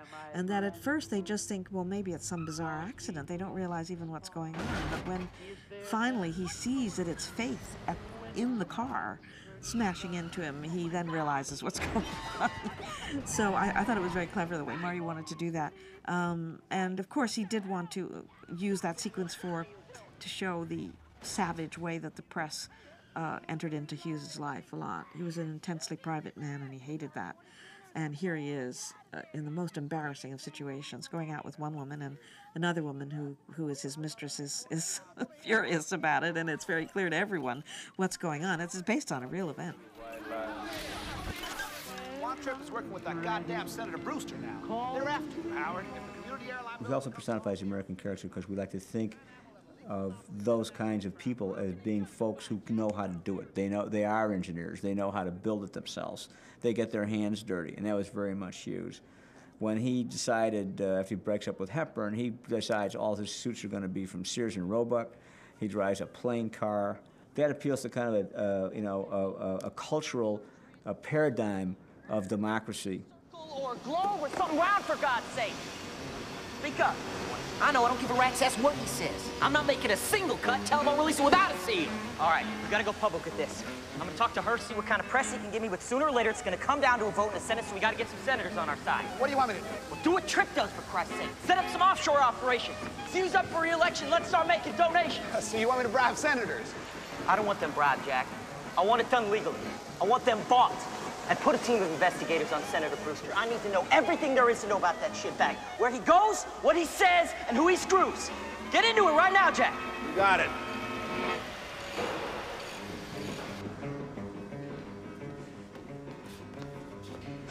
Just give me a second. All right, what do you need? Rudder and elevators. No. Yeah, these are fine. But have Simon and Pete get back to me on the hydraulic assemblies. We need a secondary system here. Okay. And listen, we need to take another look at the wheel. Jesus, the damn wheel? There were a couple of times when we experimented around, for example, when the custodian is sweeping uh, the dust and, and Howard sees him and freaks out. Uh, Marty had intended that to be Howard looking at himself as an old man. And when I was talking to people after screenings, because we screen a lot and we talk to people a lot and hear from them what they're getting from the movie, uh, it was clear to me that people were not getting that point. They thought it was about the dust uh, only. It was about the dust, but it wasn't only about the dust. So very late, we decided to try intercutting um, images of Howard in his state of madness.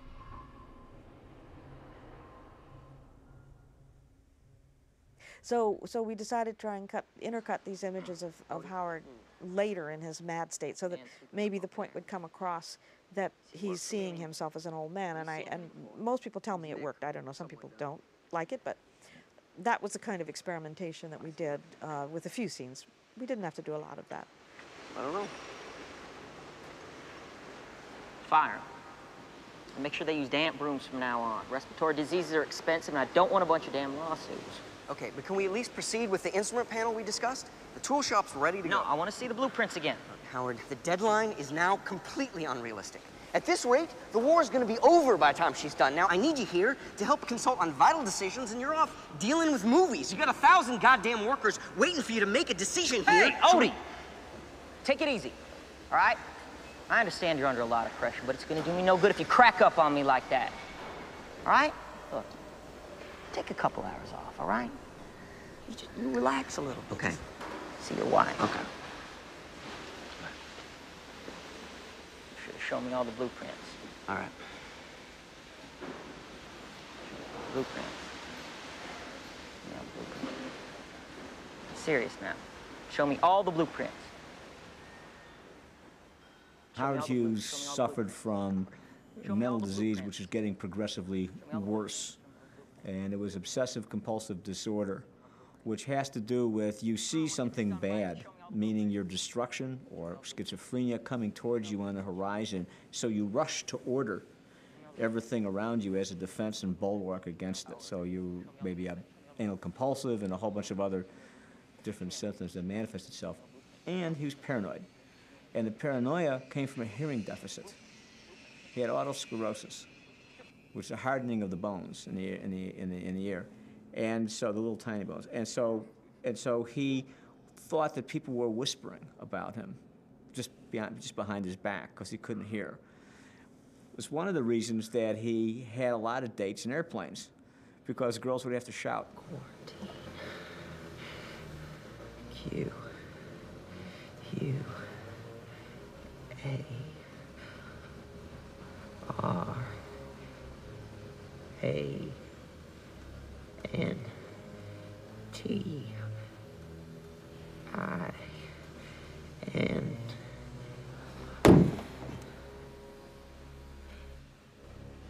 E. Quarantine.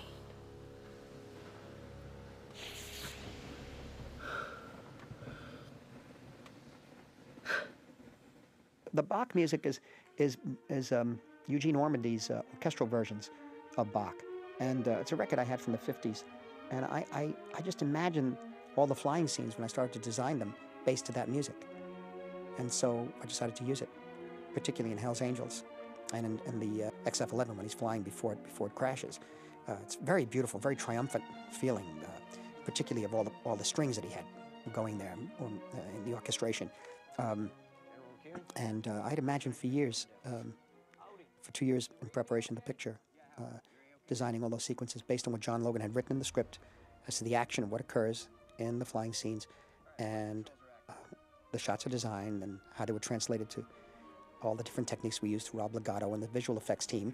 Um, gave them, I gave them the basic uh, tracks of Bach to, to, to play it against, and that's how that's how we did it. Was a dashing figure, flying around the world in three and a half days, four days, whatever it was. You know, he took a lot of chances, a lot of risks. Uh, uh, he was in four airplane crashes, uh, two car crashes.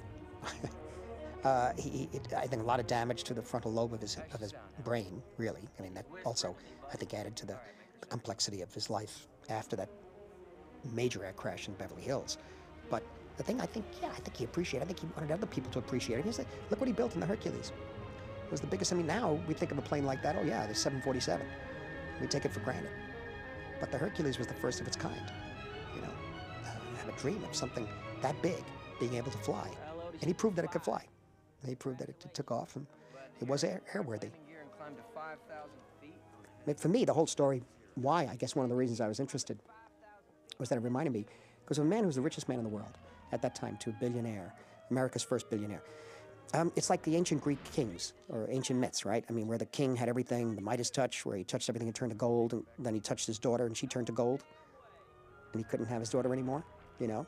So if you're given a great gift like that, uh, there is a drawback in a way. And one, there's about responsibility and, and all sorts of other things. But, but it reminded me too of the story of, um, uh, I always talk about this, the labyrinth and the Minotaur.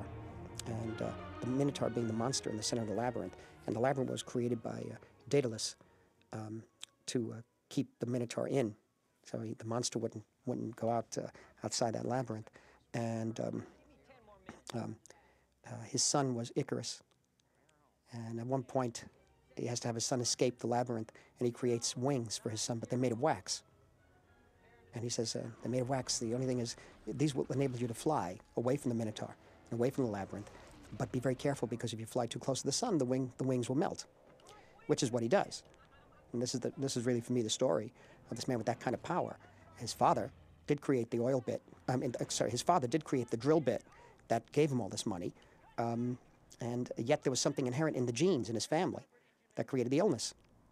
So there's a curse, and a curse in the family through fate, not for any reason, not that there's any retribution of the gods or God looked down and said this person did something bad in that generation, this generation is going to pay for it. No, it just happened through fate, like the ancient world uh, mythology itself. Through fate, he has this fatal flaw. And, uh, and ultimately, he does fly away from the labyrinth. And the only thing is, the way I saw the story is that the monster he's trying to fly away from is himself. He can't get away from himself ever. And you see that in the screening room, ultimately. That's himself. Yeah, of course, the, the crash in Beverly Hills was so designed by Marty and Rob Legato. They had spent a lot of time with uh, uh, models of the plane in, in, in, a hotel room before Marty shot the movie with a little lipstick camera that was the size, literally, of a lipstick, which Rob Legato would move around trying to understand exactly how Marty wanted to design the shots. He would move this little lipstick camera around so they could look on a monitor, and Marty would say, Yes, well, no, I want to change it a little bit this way or that way. Uh, so Rob Legato then went out and miniatures were built. A little village, a little town was built so that the plane could come crashing through it. And again, you have to have tremendous amount of experience to know the perspective, to make sure you get the perspective of everything right. Because if you're dealing with a little miniature town and a miniature plane, you have to know how to shoot it so that it doesn't look like a miniature town and a miniature plane.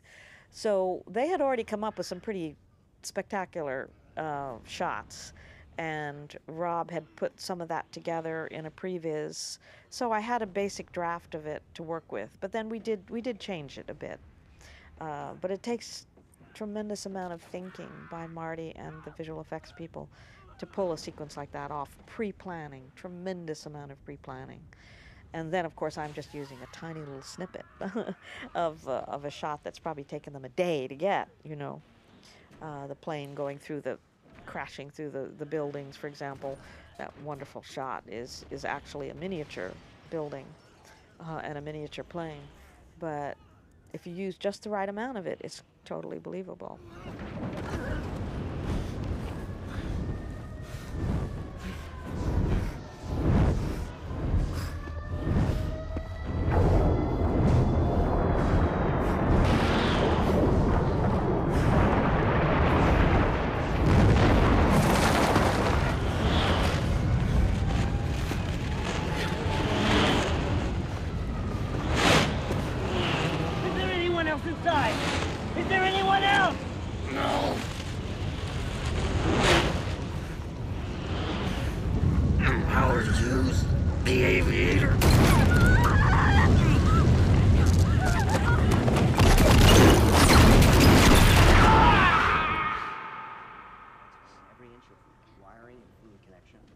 He has burns to 78% of his body.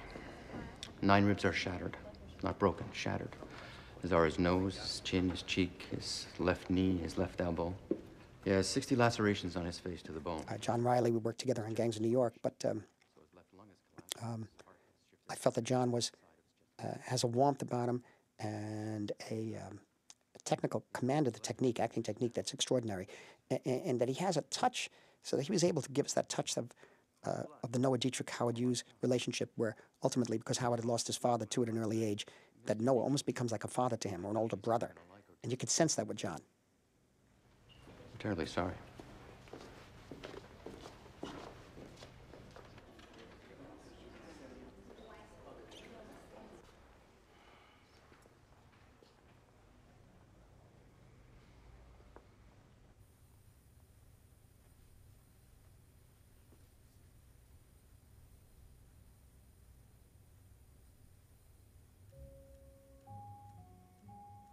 The the crash of the XF-11 into Beverly Hills actually occurred, and there's actual footage uh, from the time of uh, of uh, an actor, I forget his name, uh, walking through the houses that have been hit and showing people what it looked like.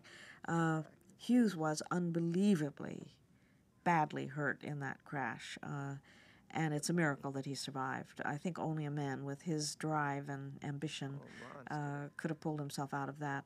Uh, he, as is stated in the in the film, he, he was hurt so badly that his heart was moved from one side of his chest to the other. So there was massive uh, reconstructive surgery that had to be done, and which uh, forever changed the look of him. And that's why he started wearing a mustache because he had a very bad scar on his on his lip. And uh, he, it really, of course, accentuated what was already a decline into mental illness. Um, and uh, even as you see him fighting to pull himself together on crutches and finally ending up with him going into the Senate hearing room, uh, you you sense that that the terrible physical damage to him uh, is helping to pull him down mentally as well. Uh, it's amazing that he recovered as well as he did. You see footage of him actually on the Hercules. He looks as if he's moving quite normally. I don't know how he did it. I have to know what you want me to do. Should I release the staff? How far? From finishing? About six months. No, no. In money. Seven million. Maybe more.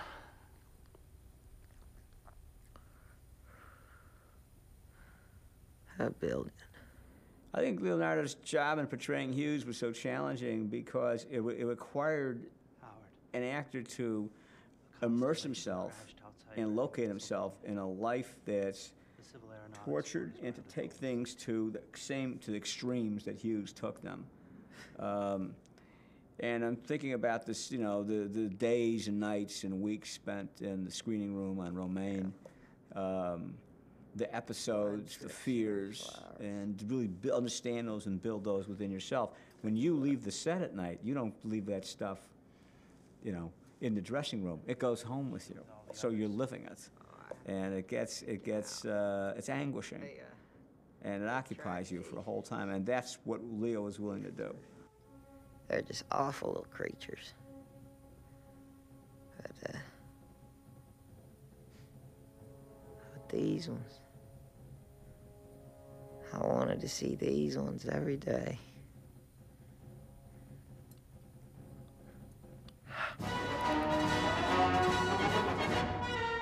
Can white elephants really fly? That's He everybody's wanted question. so badly to help the war effort, and uh, this plane, with eight huge engines, was designed to fly tanks and entire, you know, regiments of people uh, directly to Europe and land on water because there would have been no uh, airport big enough to handle it. So he designed it to land on water.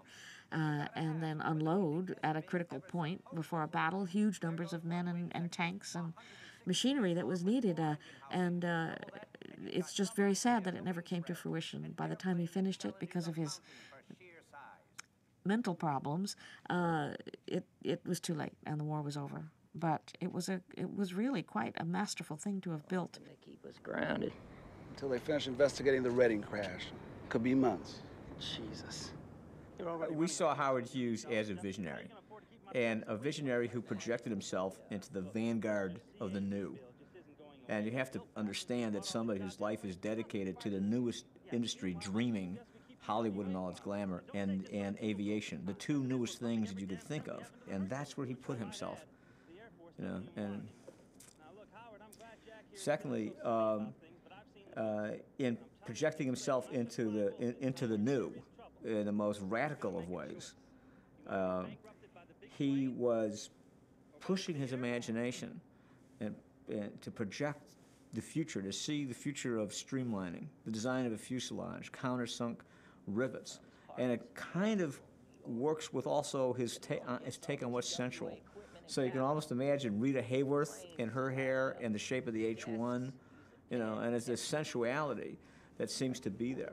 But he dwells at this point between um, between this kind of hypercharged imagination of his that he's pushing out there and madness. Ava Gardner realizes that he's been bugging her bedroom everything in her house, actually.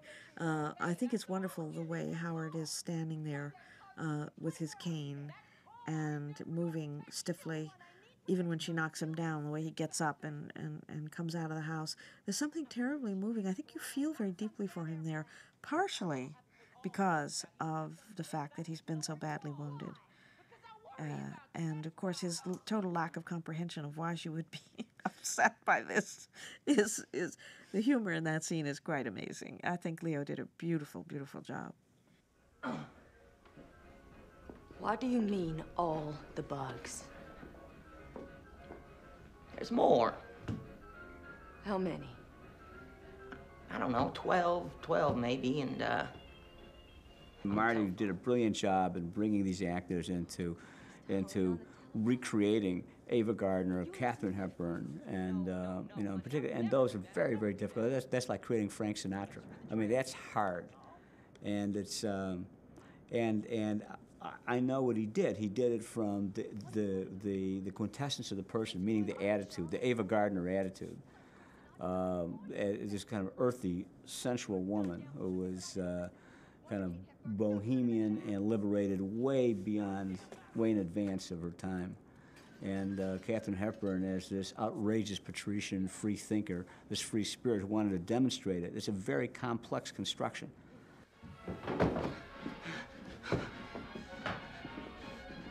Get out! See if we a right side. Take out all the bugs, huh? Except for the one on the bedroom phone. So that the FBI are at the house. This is outrageous! Everything in these offices is the private property of Hughes Productions. The sequences of the FBI uh, continuously invading Howard's home, we uh, messed around with quite a bit in the editing because we found that the more jagged and jumbled and the more it seemed as if it was a continuous invasion, the better it would be. Because for Hughes to have his home, uh, being such an intensely private man, uh, for Hughes to have his home invaded like that and have people uh, picking up everything that, that he cared so much about and, and putting out cigarettes on the floor and uh, tracking mud into his house was just horrifying. But there was nothing he could do about it. So what we did was we actually jumbled up the imagery and the, the, the passage of time a bit. We just used whatever images worked for us to um, give his feeling of horror at what was going on and, and the, the way they're just even invading his garbage cans and the horror of that. I've always wanted to work with Alan Alda because I wanted to have somebody who is sensible in a way. And Alan has a very charming way about him. And, and uh, here I think he really, he plays it um, in a very reasonable way. There's no reason in the world why Howard shouldn't. I mean, this is what he perceives as Senator Bruce. There's no reason in the world why Howard you should continue to, to buck us on this. You should come in. You should you should play ball with us on this. It's going to work out, you know. Especially after winning World War II, quote unquote. You know, uh, they weren't going to take anything from him. Nicely decorated. Thank you. Here, have a seat.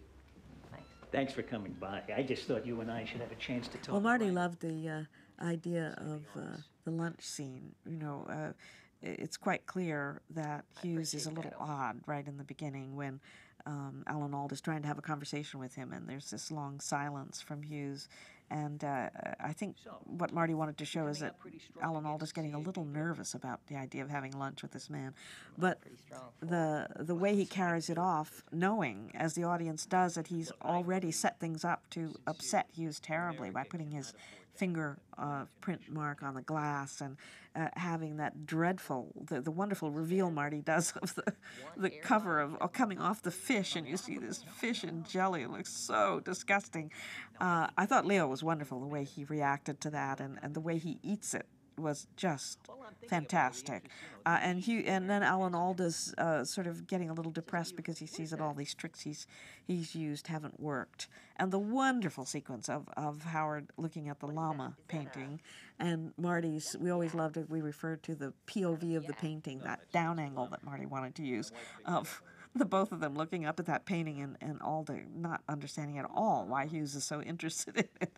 And the way Leo did the lines in that kind of weird high pitched voice that Hughes sometimes had. Uh, very, very bizarre. Good. Okay, come on, let's go have some lunch. Now, do you, Do you actually get to see any llamas? Rather than playing the No, villain as no, a villain, it should have been played as a person who had reason on his side. That's all. Because uh, reason and also a kind of amiability, a kind of a kind of likability in a way. He was a guy to talk to, an easy guy to talk to, you know, a reasonable person. Yeah, he, he totally believed in what he was saying. Yeah, he was also, you know, in the pocket of Pan Am, but he believed in what he was saying. It's brook trout. Hope you like fish. I think Leo's performance is so courageous because as an actor, he has to in- internalize the disorder of Hughes. And you don't leave it in the dressing room, you take it home with you. It really has to take over your life. And it just does if you're really going to, you know, jump in the deep end of the swimming pool the way Leonardo did. The second thing is that the whole of the movie is, is Hughes, the internal Hughes, externalized. That's the movie. We'll try and locate the audience. Marty does a brilliant job in this splendid way he's mounted this entire operatic film, which is very big, but nevertheless is extremely intimate because he takes us, the audience, and locates us within the experience of being Hughes. So it's the inner Hughes with- within which we're located, and through that we perceive this epic canvas of Hughes' work. I'd like to save you from that embarrassment. That's very kind of you, Owen. My committee has the power to hold public hearings. But I have a feeling what I liked about Brewster and the way Alan portrayed it was the, uh, um, sense of a reasonable person, uh, and yet the corruption being so deep. You want to go down, you know, that uh, it's something that uh, uh, if you listen to him for a long enough period of time, you say, yes, it makes sense. What do you want, Owen? You agree to support my CAB bill, and I won't hold public hearings. I can't do that. Why not? Can't do that, Owen. The Yeah, Leo was invested in this guy in 1998 when he walked in my office. He didn't know what about Hughes he was so invested in or what the story should be, but he was just taken with it. And I could tell that it was something about the early Hughes. And I didn't know anything about the early Hughes. And it was, I, that's where the idea came from. Um, to do Hughes, and then the and then to do Hughes as the, the early part of, of Hughes' life, Hughes as a visionary. Um, but his Leo's work is um, is extraordinary. He was invested in his character from 1998 when he first walked in my office, and what he was excited about was the visionary challenge by forces that would destroy him, and how uh, uh, someone could occupy that position in the vanguard of his own life, just pushing himself and pushing himself to for what's new, and at the same time, he's coexisting in a place where imagination and madness are right next to each other, and you could slip and slide from one into the other and not even know it. And that's what's so dangerous about where he pushed himself to as he moved closer and closer to his sun, if you like. And and uh, and and Leo was determined to um, make this the what I think is the he thinks it's the performance of his career. I don't think so. I think this is the first performance of the next stage in Leo's work. I think 20 years from now, when we look back at a great body of work, we're going to say the, the adult Leonardo DiCaprio's first film in this next phase is Aviator. So I think what we're seeing is the first film on the next stage of great work that's going to come from Leonardo DiCaprio.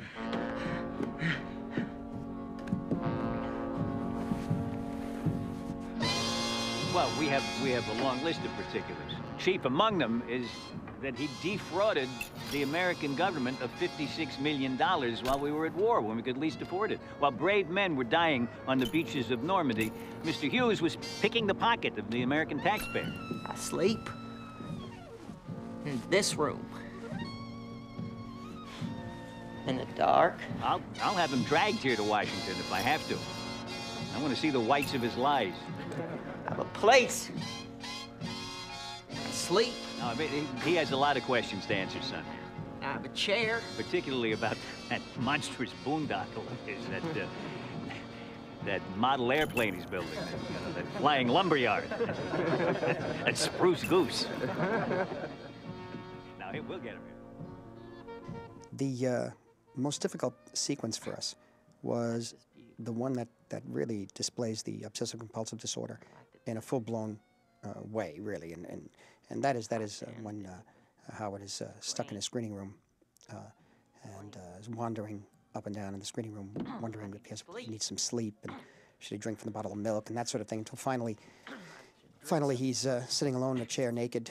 His beard is growing, his nails are growing, and uh, this represents a series of breakdowns that he had during that period. I try to give the impression of what it was like to be him in that room, um, meaning images would come up and flashing lights and these things that are being projected on the screen scenes from Hell's Angels, apparently, and scenes from desert footage that he took for The Outlaw, scenes from The Outlaw. I mean, at a certain point, is that real footage up on the screen?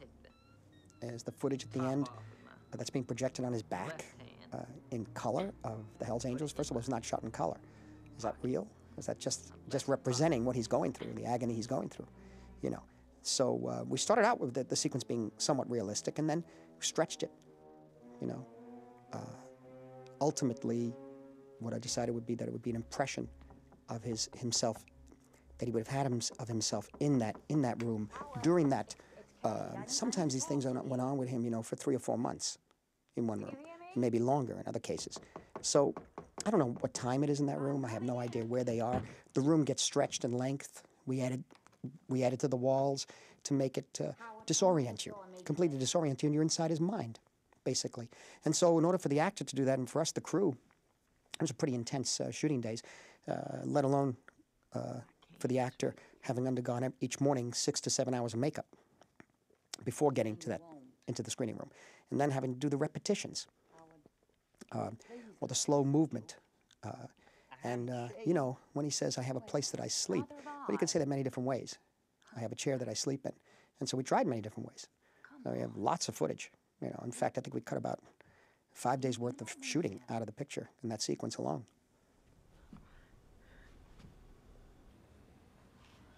I can hear you, Katie.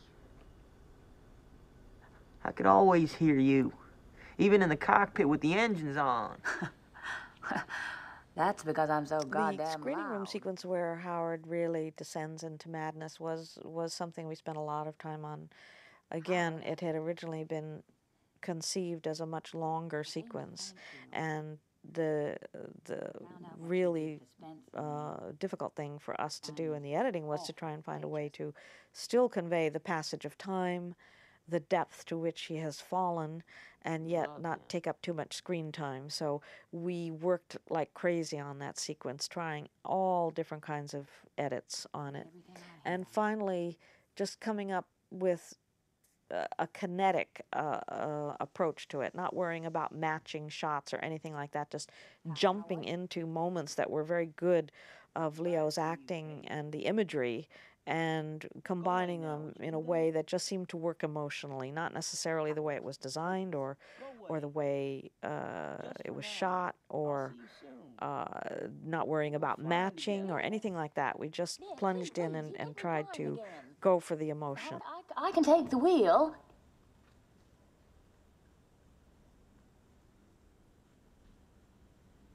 Howard? it was most difficult to do because of the intensity of uh, uh, the intensity of the concentration that the actor needed, and also how that all those different symptoms of OCD sort of came sort of came to uh, fruition in a way in that sequence, and how many to show, how many not to show, and if we do show them, in which way can we do it? What is real and what's not real in that sequence?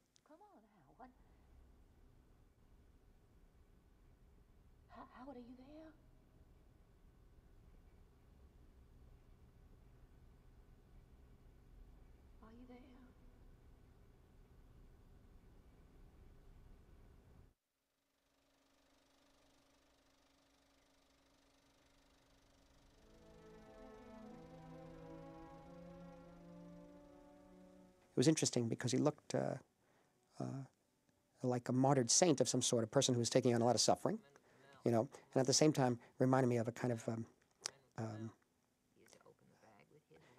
an ancient god, the king of the gods that he wanted to be, like Zeus in the temple of Zeus, only uh, um, somehow, uh, uh, should I say, the power of the gods being disintegrated, and he's sitting there with all the corruption inside of him and the beam of light like the, the rising sun behind him like a halo, you know, but he can't make it anymore.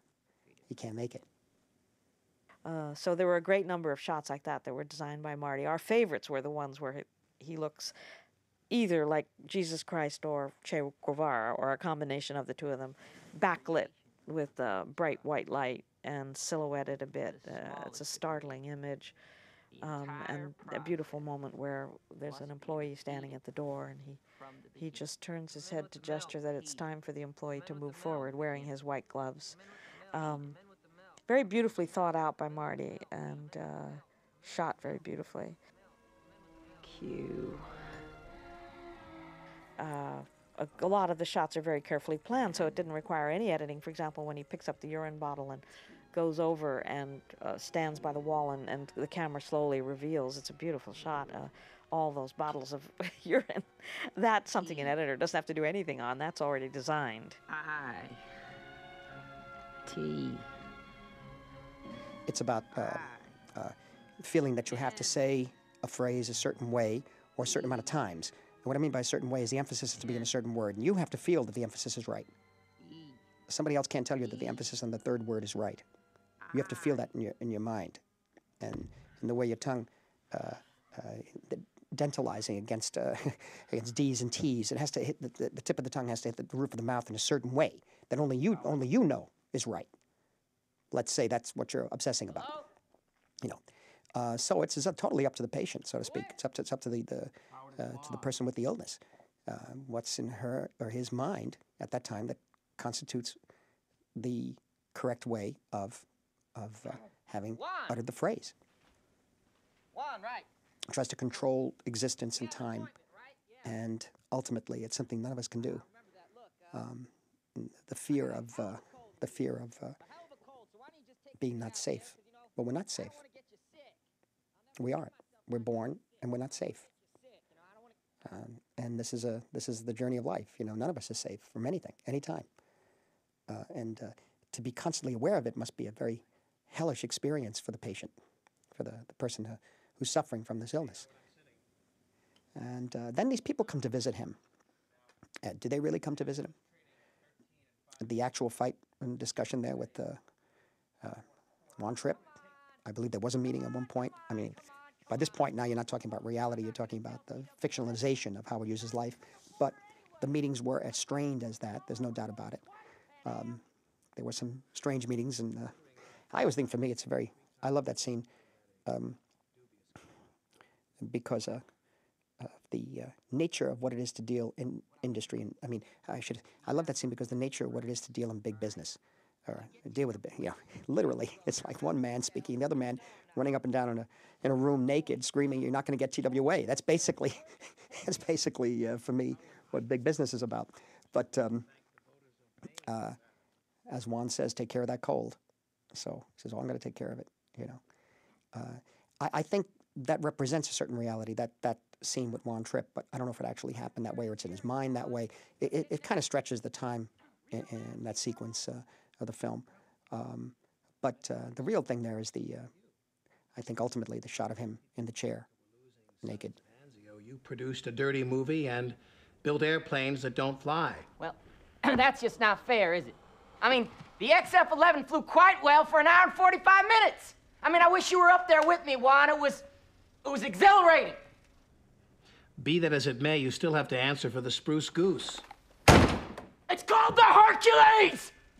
And it will fly, It was, it was really a matter of condensing it and, and still getting the emotion and the, the passage he is going through from first entering the screening room and finally ending up, you know, unshaven and no clothes on and out of his mind. I know that, Howard. I know that. But I'm going to get it anyway. You're going to default on your loan from Equitable after Senator Brewster destroys your reputation and you can't find additional capital for the airline. The hearings will also show Hughes Aircraft to be mismanaged and incompetent, and it will go bankrupt too. But you won't be insolvent. You'll still have Toolco. Perhaps you'll head back to Houston to rebuild your empire. I rather hope you do. By that time, Pan Am will have bought TWA and painted all those magnificent Connies blue and white. So when you do return, it will be on a Pan Am plane. I, I just, I, I think it was just a beautiful idea that Marty had that um, once Howard locks himself away in there, uh, people who are coming to talk to him have to talk to him through the door. And so you have the wonderfully moving sequence in which Kate Hepburn comes to try and help him. And Howard does not want to draw her into his madness, so he encourages her to go away, which is really a very loving act. Uh, and and then the com- the comedic way that uh, Marty did the, the business meeting between Howard and Juan Trippe, who in fact they had they had agreed that they would meet and discuss the whole issue of uh, whether one of them was going to buy out the other. But the incredibly funny idea that, that Juan Trippe is sitting there with his briefcase and he's talking. On the other side of the door is a man who is completely naked and uh, completely out of his mind, but pulls himself together just enough to carry out uh, the meeting in a businesslike way, with a lot of humor, of course, as written and, and used by Marty. Thank you, Howard, and you take care of that cold. Oh, don't you worry. I certainly will. Bye bye. In fact, we always talked about showing the Howard Hughes in the 70s and showing the Howard Hughes in the 60s and that sort of thing. And John had, John Logan had gone through so much of that, and he decided not to. And that was my first instinct when I read the script. What I liked about it was that we did not show that Howard Hughes, because that's the one we always hear about, and it's kind of mysterious. It's a very interesting mystery. But also, you know, if you read every day what happened to him, I mean, ultimately, dramatically, it isn't that interesting. Um, and uh, it's fascinating, but it's morbidly fascinating, I think. One has to be careful with it. And so once, but we had still went back and questioned John and talked about uh, adding um, scenes at the beginning and the end of the older Howard Hughes and that sort of thing. And he went through the process with us until we came to see, during the shooting of the sequence at the uh, screening room, when I saw the rushes and realized that is the Howard of the 1970s. That is the Howard that he's going to become. We've already done it. The White Gloves are so interesting. They, uh, they have a feeling of uh, something official and clean and protective, you know? It's like editing gloves when the old days when they'd be cutting negative, you'll see that, and they still do, and they cut negative, they always wear, the, the editors wear white gloves. There's always something very beautiful about that, I thought. And then I decided that we should have an intimation of these caretakers, quote unquote, at the end of the film. Um, I don't know if the caretakers are really there. You know, he starts to hallucinate anyway. And uh, they're just the people, pretty much, they, they represent to me the people who are going to be taking care of him for the rest of his life and ultimately take control of him. Those who know the real story, the rest of the story, take control, uh, um, take advantage of him, so to speak. There's a lot, there's a lot of a lot of that's been written about his last few years, uh, especially with the under the care of these these different men.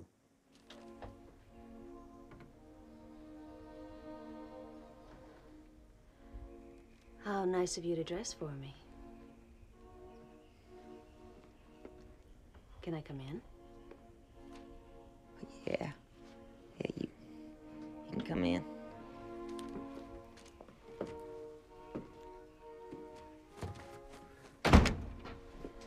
Thank you for coming. I don't know how he did it. He just seems to have had this ability throughout his life to pull himself out of his madness and face uh, reality at times when he really needed to. And the morning of the actual Senate hearings, the first day, according to people who have written about this in books, that uh, Howard Hughes was so deaf that he couldn't hear them banging on the door to wake him up.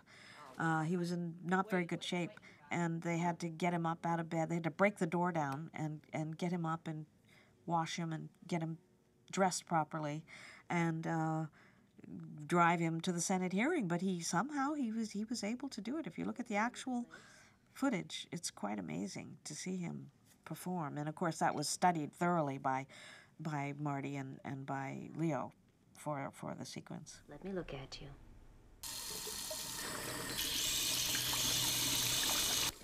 When do you go to Washington? Uh, a week. Of course, many people say today he would have been on medication and it wouldn't have been such a problem, but on the other hand, sometimes those medications cut your creative ability. And that might have meant that, yes, he might have been medicated, but would he have been able to do the great work he was doing? So it's, it's a difficult issue.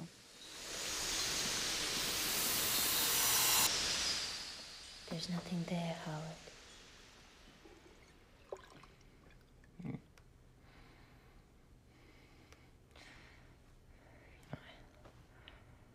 see things. I know, baby. Rinse your face off now.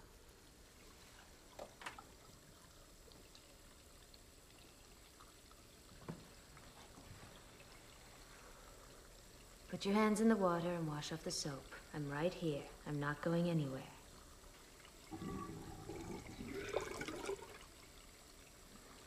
Does that look clean to you? Nothing's clean, Howard. But we do our best, right?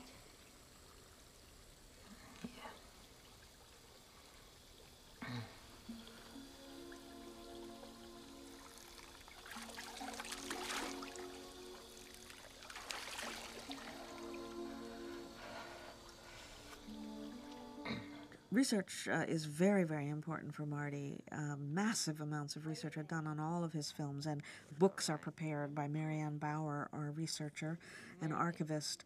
Uh, she prepares books for Marty, particularly on a film like Gangs, where she has massive amount numbers of photographs and uh, first-person account. Marianne Bower didn't need to do as much work on Howard Hughes um, because it, it wasn't such a massive uh, period of time, but uh, she again prepared books and collected all the videotaped uh, material there was on Hughes, particularly for the Senate hearing. And uh, Marty wanted to make the room as believable as he could, the, the way the, the, the Senate hearing would have occurred in that time. So, the, the since it was one of the first televised Senate hearings, he made a big deal, as you can see in the opening of the of the sequence, of the lights coming on that are needed for television, which are, television needed much more light than, say, just still photographers did. And because, again, it's a violation for Howard, for him to have to be in front of people like that was horrifying. And of course, Senator Brewster knew that. Uh, that's exactly why he had threatened to bring him there, hoping that he would never come. And so the violation of Howard is again seen with those bright lights coming on and, and Marty actually whiting out Howard's face with the lights. And then the wonderful idea of, of everyone wearing sunglasses because the lights were so bright in those days that people literally wore sunglasses during the hearing, the reporters and a lot of the people there. And so Marty makes a, wonderful shot where you see Howard watching two reporters putting their sunglasses on, and the sound effects editor puts a sizzle sound in at that moment, which is just great. Uh, so Marty also wanted to dwell on details of all the still cameras, uh, television cameras recording the event. So we have all these uh, wonderful shots uh, pushing in on lenses and Howard reflected in the lens, looking at himself and deciding what he's going to do. Is he going to go along and play this game uh, in the normal way of answering questions, or is he just going to attack? And he decides, after looking at himself reflected in that lens, he decides to attack. He just became the part. I think, particularly by the time you get into the Senate, you just completely believe he's Howard Hughes, and the the the way he behaves in the Senate is just so incredible. I, I think I've already said this, but uh, the I, I, just love the fact that when you see him there for the first time, a little bit more pulled together because we've been seeing him mainly in the, the screening room where he's completely out of his mind. Uh, the uh, way that, that he shows how, uh, the way that Leo um, wanted to do his makeup and hair uh, it shows how hard Howard Hughes is trying to pull himself together. So the part in his hair, I just I burst out laughing when I first saw it because it is so precise. It looks like it's been made with a slide rule, and his hair is so plastered down as if he's trying to pull himself together to get through this ordeal, which he does so magnificently, and the hectoring way he goes after the senator.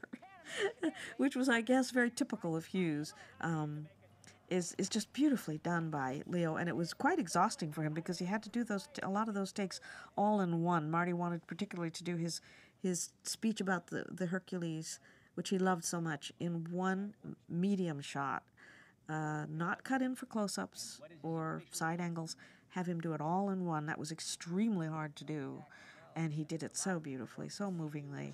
Why your press agent would pay out more than $170,000. In the um, uh, in the hearings, uh, uh, he actually was pulled together. He uh, was pulled together by his friends, apparently, and uh, uh, many written about in many books. And he did appear in Washington, and he did literally. It's almost that's almost word for word from the transcripts and from the actual black and white footage that we saw that's available of the uh, Senate investigation. Um, and he, uh, in fact, when I first read it, I couldn't quite believe it. But that's pretty much it. And when I saw the actual film and his speeches, particularly about the one in which he says, uh, "I put the sweat of my life into that plane, and I will leave the country, and I mean it." That's almost word for almost word for word. And so um, I find it fascinating because he had to break through his illness. And you, you could see it. And if you look at the black and white footage of him, you could see him almost, he's, he's containing himself somehow, you know. Uh, but they had those hot lights on him. They knew what they were doing. They were putting him on the spot, making him crazy, so to speak. And, uh, and I thought I'd play that up. And will he get through this? Will he get through the Senate or not?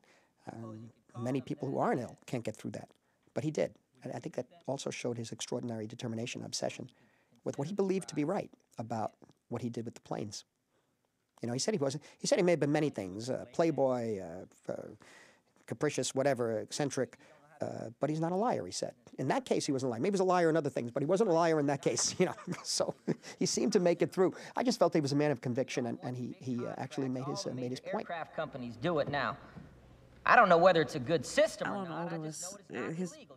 It was so much fun cutting Alan Alda's footage because he's a very fertile actor. Maybe from being on television and on the stage, I don't know, but he he does each take differently, and you see him enjoying very much trying to figure out another way to get the humor across. So that was uh just a delight to work with him, and uh, the, the way he reacts to Leo in the Senate is is just so funny and. Uh, uh, interesting because he doesn't do it in a he, he does it with a lot of humor and that that helps the sequence enormously. And he's he's a very good improviser so he was wonderful at at trying to fend off this incredible barrage from Hughes who once he locks in it's like a, a laser beam trying to destroy you. And he was so good at, at the way he with his body language and his mannerisms and uh, his frustrations the way he showed them was was just beautiful I mean, he spoke to me as if you worked for him. the Senate hearing was, of course, a tremendous amount of fun to work on because the actors are just so phenomenal. I, Leo just completely caught what Howard Hughes was like at that time. There is actual video footage of those hearings, and the intensity.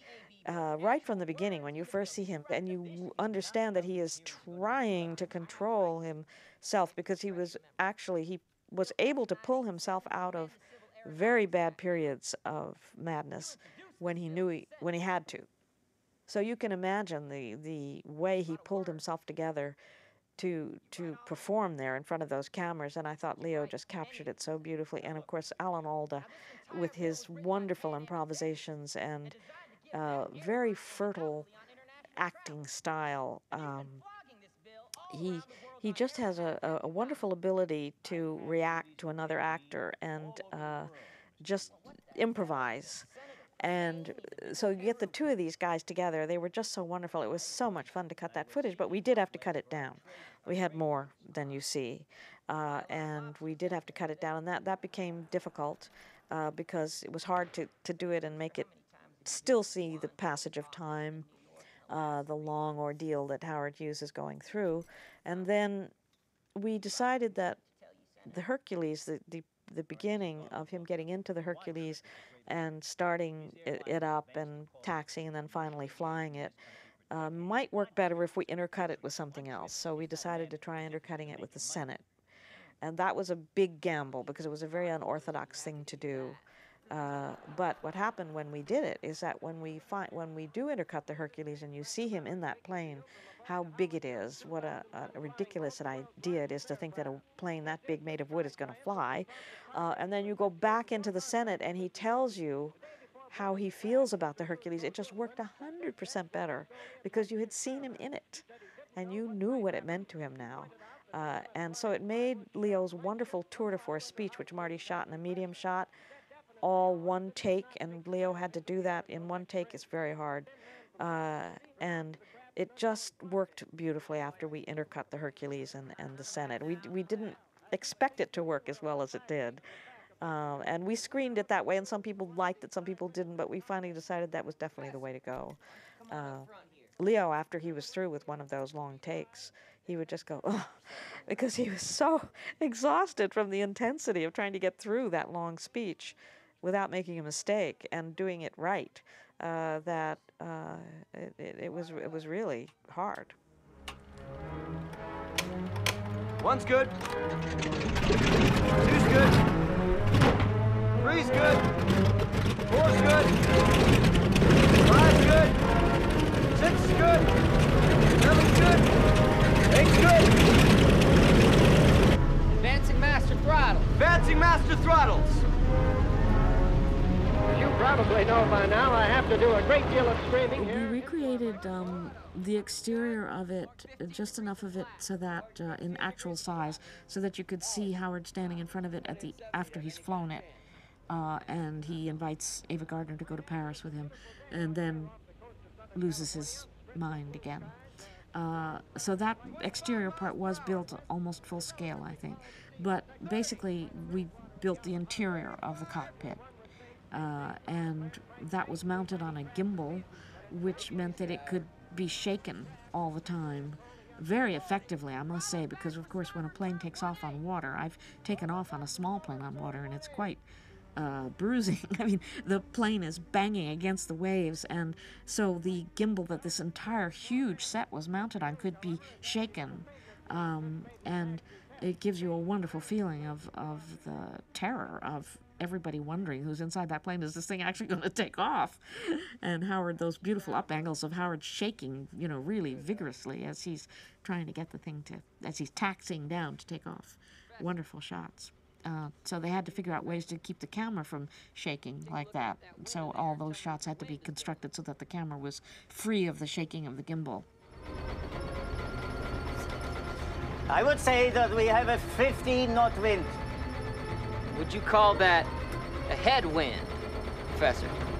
He had this immense courage to, to seek what he didn't know, define his boundaries, and then go invent the method by which he could acquire that knowledge. He wasn't intimidated by not knowing, he was challenged by not knowing.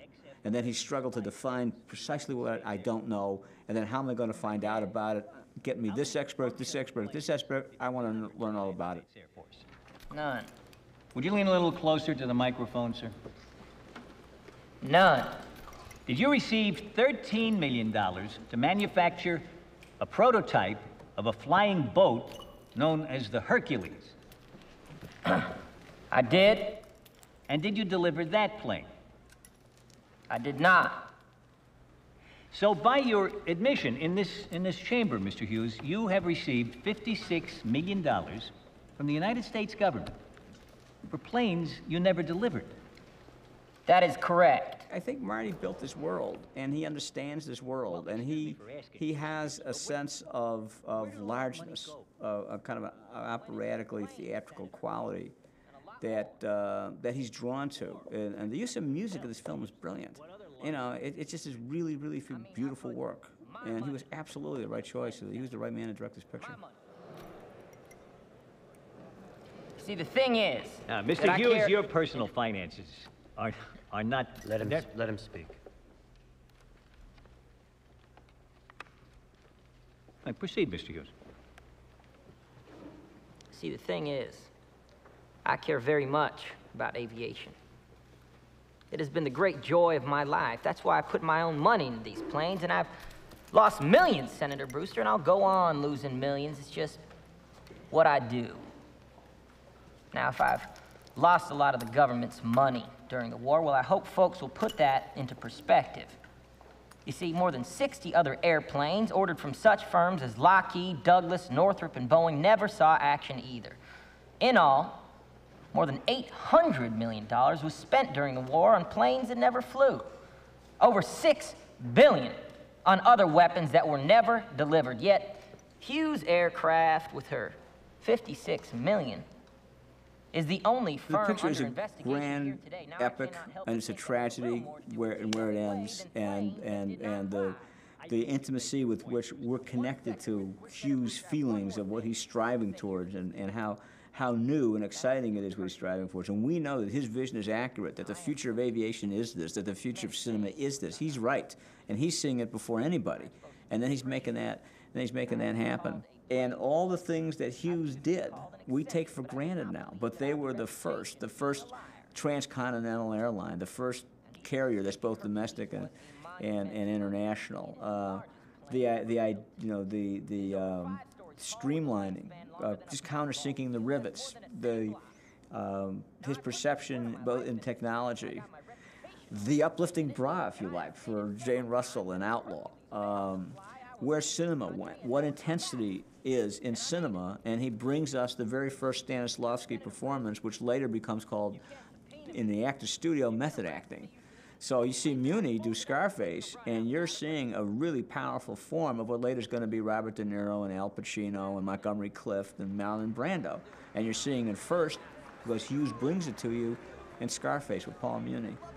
And you're seeing in, in the epical film in, in, uh, in Hell's Angels. Uh, you know, it, the guy's extraordinary. And a lot of what he did we take for, we take for granted now, and he, it's not connected to him.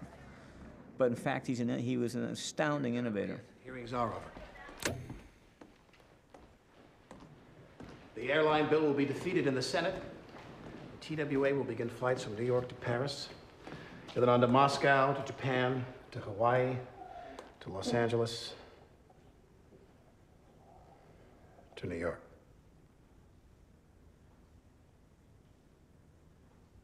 Fuck.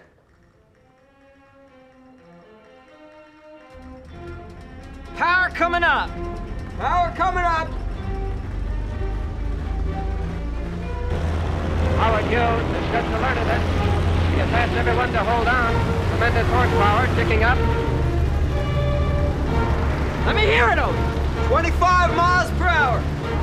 30! Here we go! Here we go! 35! The airspeed indicator. That goes up to 25. It's 30. It's 35. 40! As he pushes the throttle.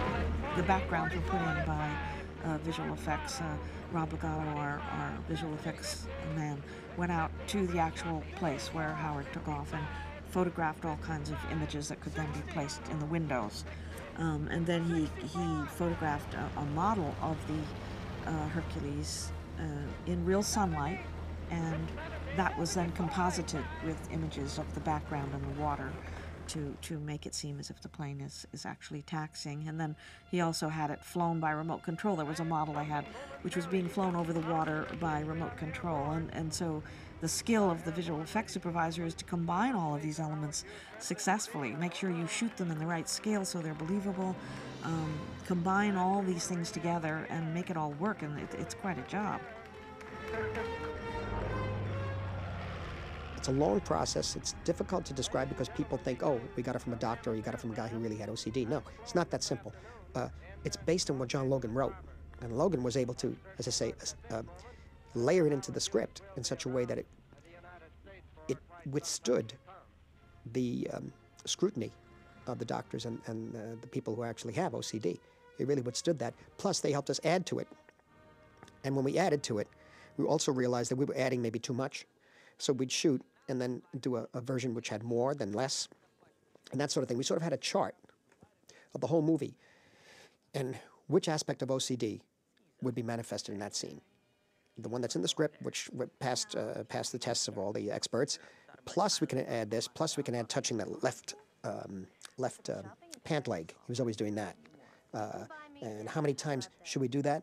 And when we do it, when's the first time we should really see it? And if we see it in the first time, should it be a little less? Should it be something that you hardly notice? Like, for example, when he's getting his picture taken after Hell's Angels uh, is a big hit and he stands out there and all the people are screaming and he, he sort of overexposes, his face goes white and you see him just touch his pant leg a little bit. Um, that was, I think, the first time you see it in the film. I may be wrong, but that's the first time. And we layered in throughout the picture um, so that we had a chart based on what, you know, what scrutiny, uh, what, um, through, based on the research with Dr. Schwartz and, uh, the person who had OCD. But again, this is pretty well based upon what John had in that script already.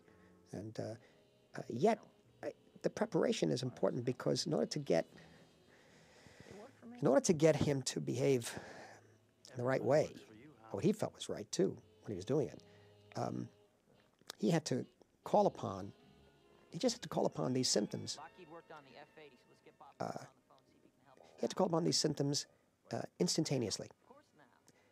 And I mean instantaneously. We shot for 91 days, but we didn't shoot in continuity. So that maybe two days of the week he'd be 26 years old, and the other two days he'd be 40. Then another, you know. So we had to basically say, okay, how much here and how much there, and we had to constantly be dialing it up and dialing it down.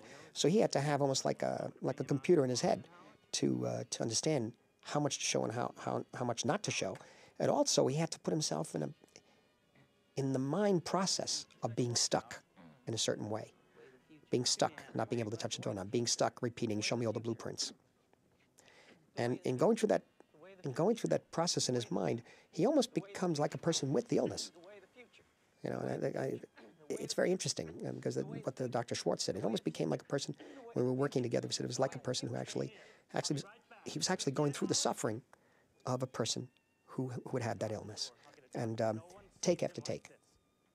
And so it was a very, as I say, he's a young man. So, you know, uh, being young, I think it's a very, uh, um, you know, uh, demanding performance. And so, because he's young, uh, he could really, because he, because he had that preparation, and because he had, was so obsessed by the character, uh, he was able to channel it, and be able, as far as I could tell, to take the uh, um, take the uh, emotional and psychological and physical wear and tear.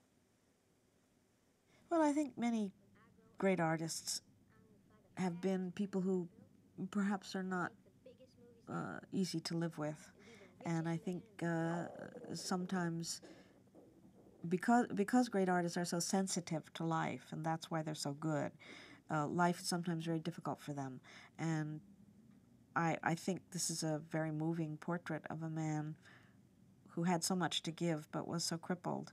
And that's very typical, really, of a lot of. I, I, I think it's lovely that Marty is showing us, in a way, how we can care about someone who, who was so difficult and strange and, and afflicted, but that we can still care about him. The way of the future. And then finally, at the end of the film, too, when he talks about the way of the future, The way of the future. the way of his future is interesting The way of the uh, because it has his future will definitely be marred, so to speak. You know, but he seems to accept it at the end. In my mind, when he when he's caught repeating the way of the future, it's almost as if he um, he knows that he paid that price, and he will continue to pay a harder, a, a tougher price, a more serious price, even. And yet, he seems to be that he accepts that he should pay the price. In other words, if he was ever given a chance, knowing that this would happen in your life, would you ever do it all over again? I think he would have said yes. You know, to deal with that fatal flaw and to succumb to it finally is what happened. Succumb to it, you know. And as I say, that fatal flaw, given it's in his genes. Why? Who knows?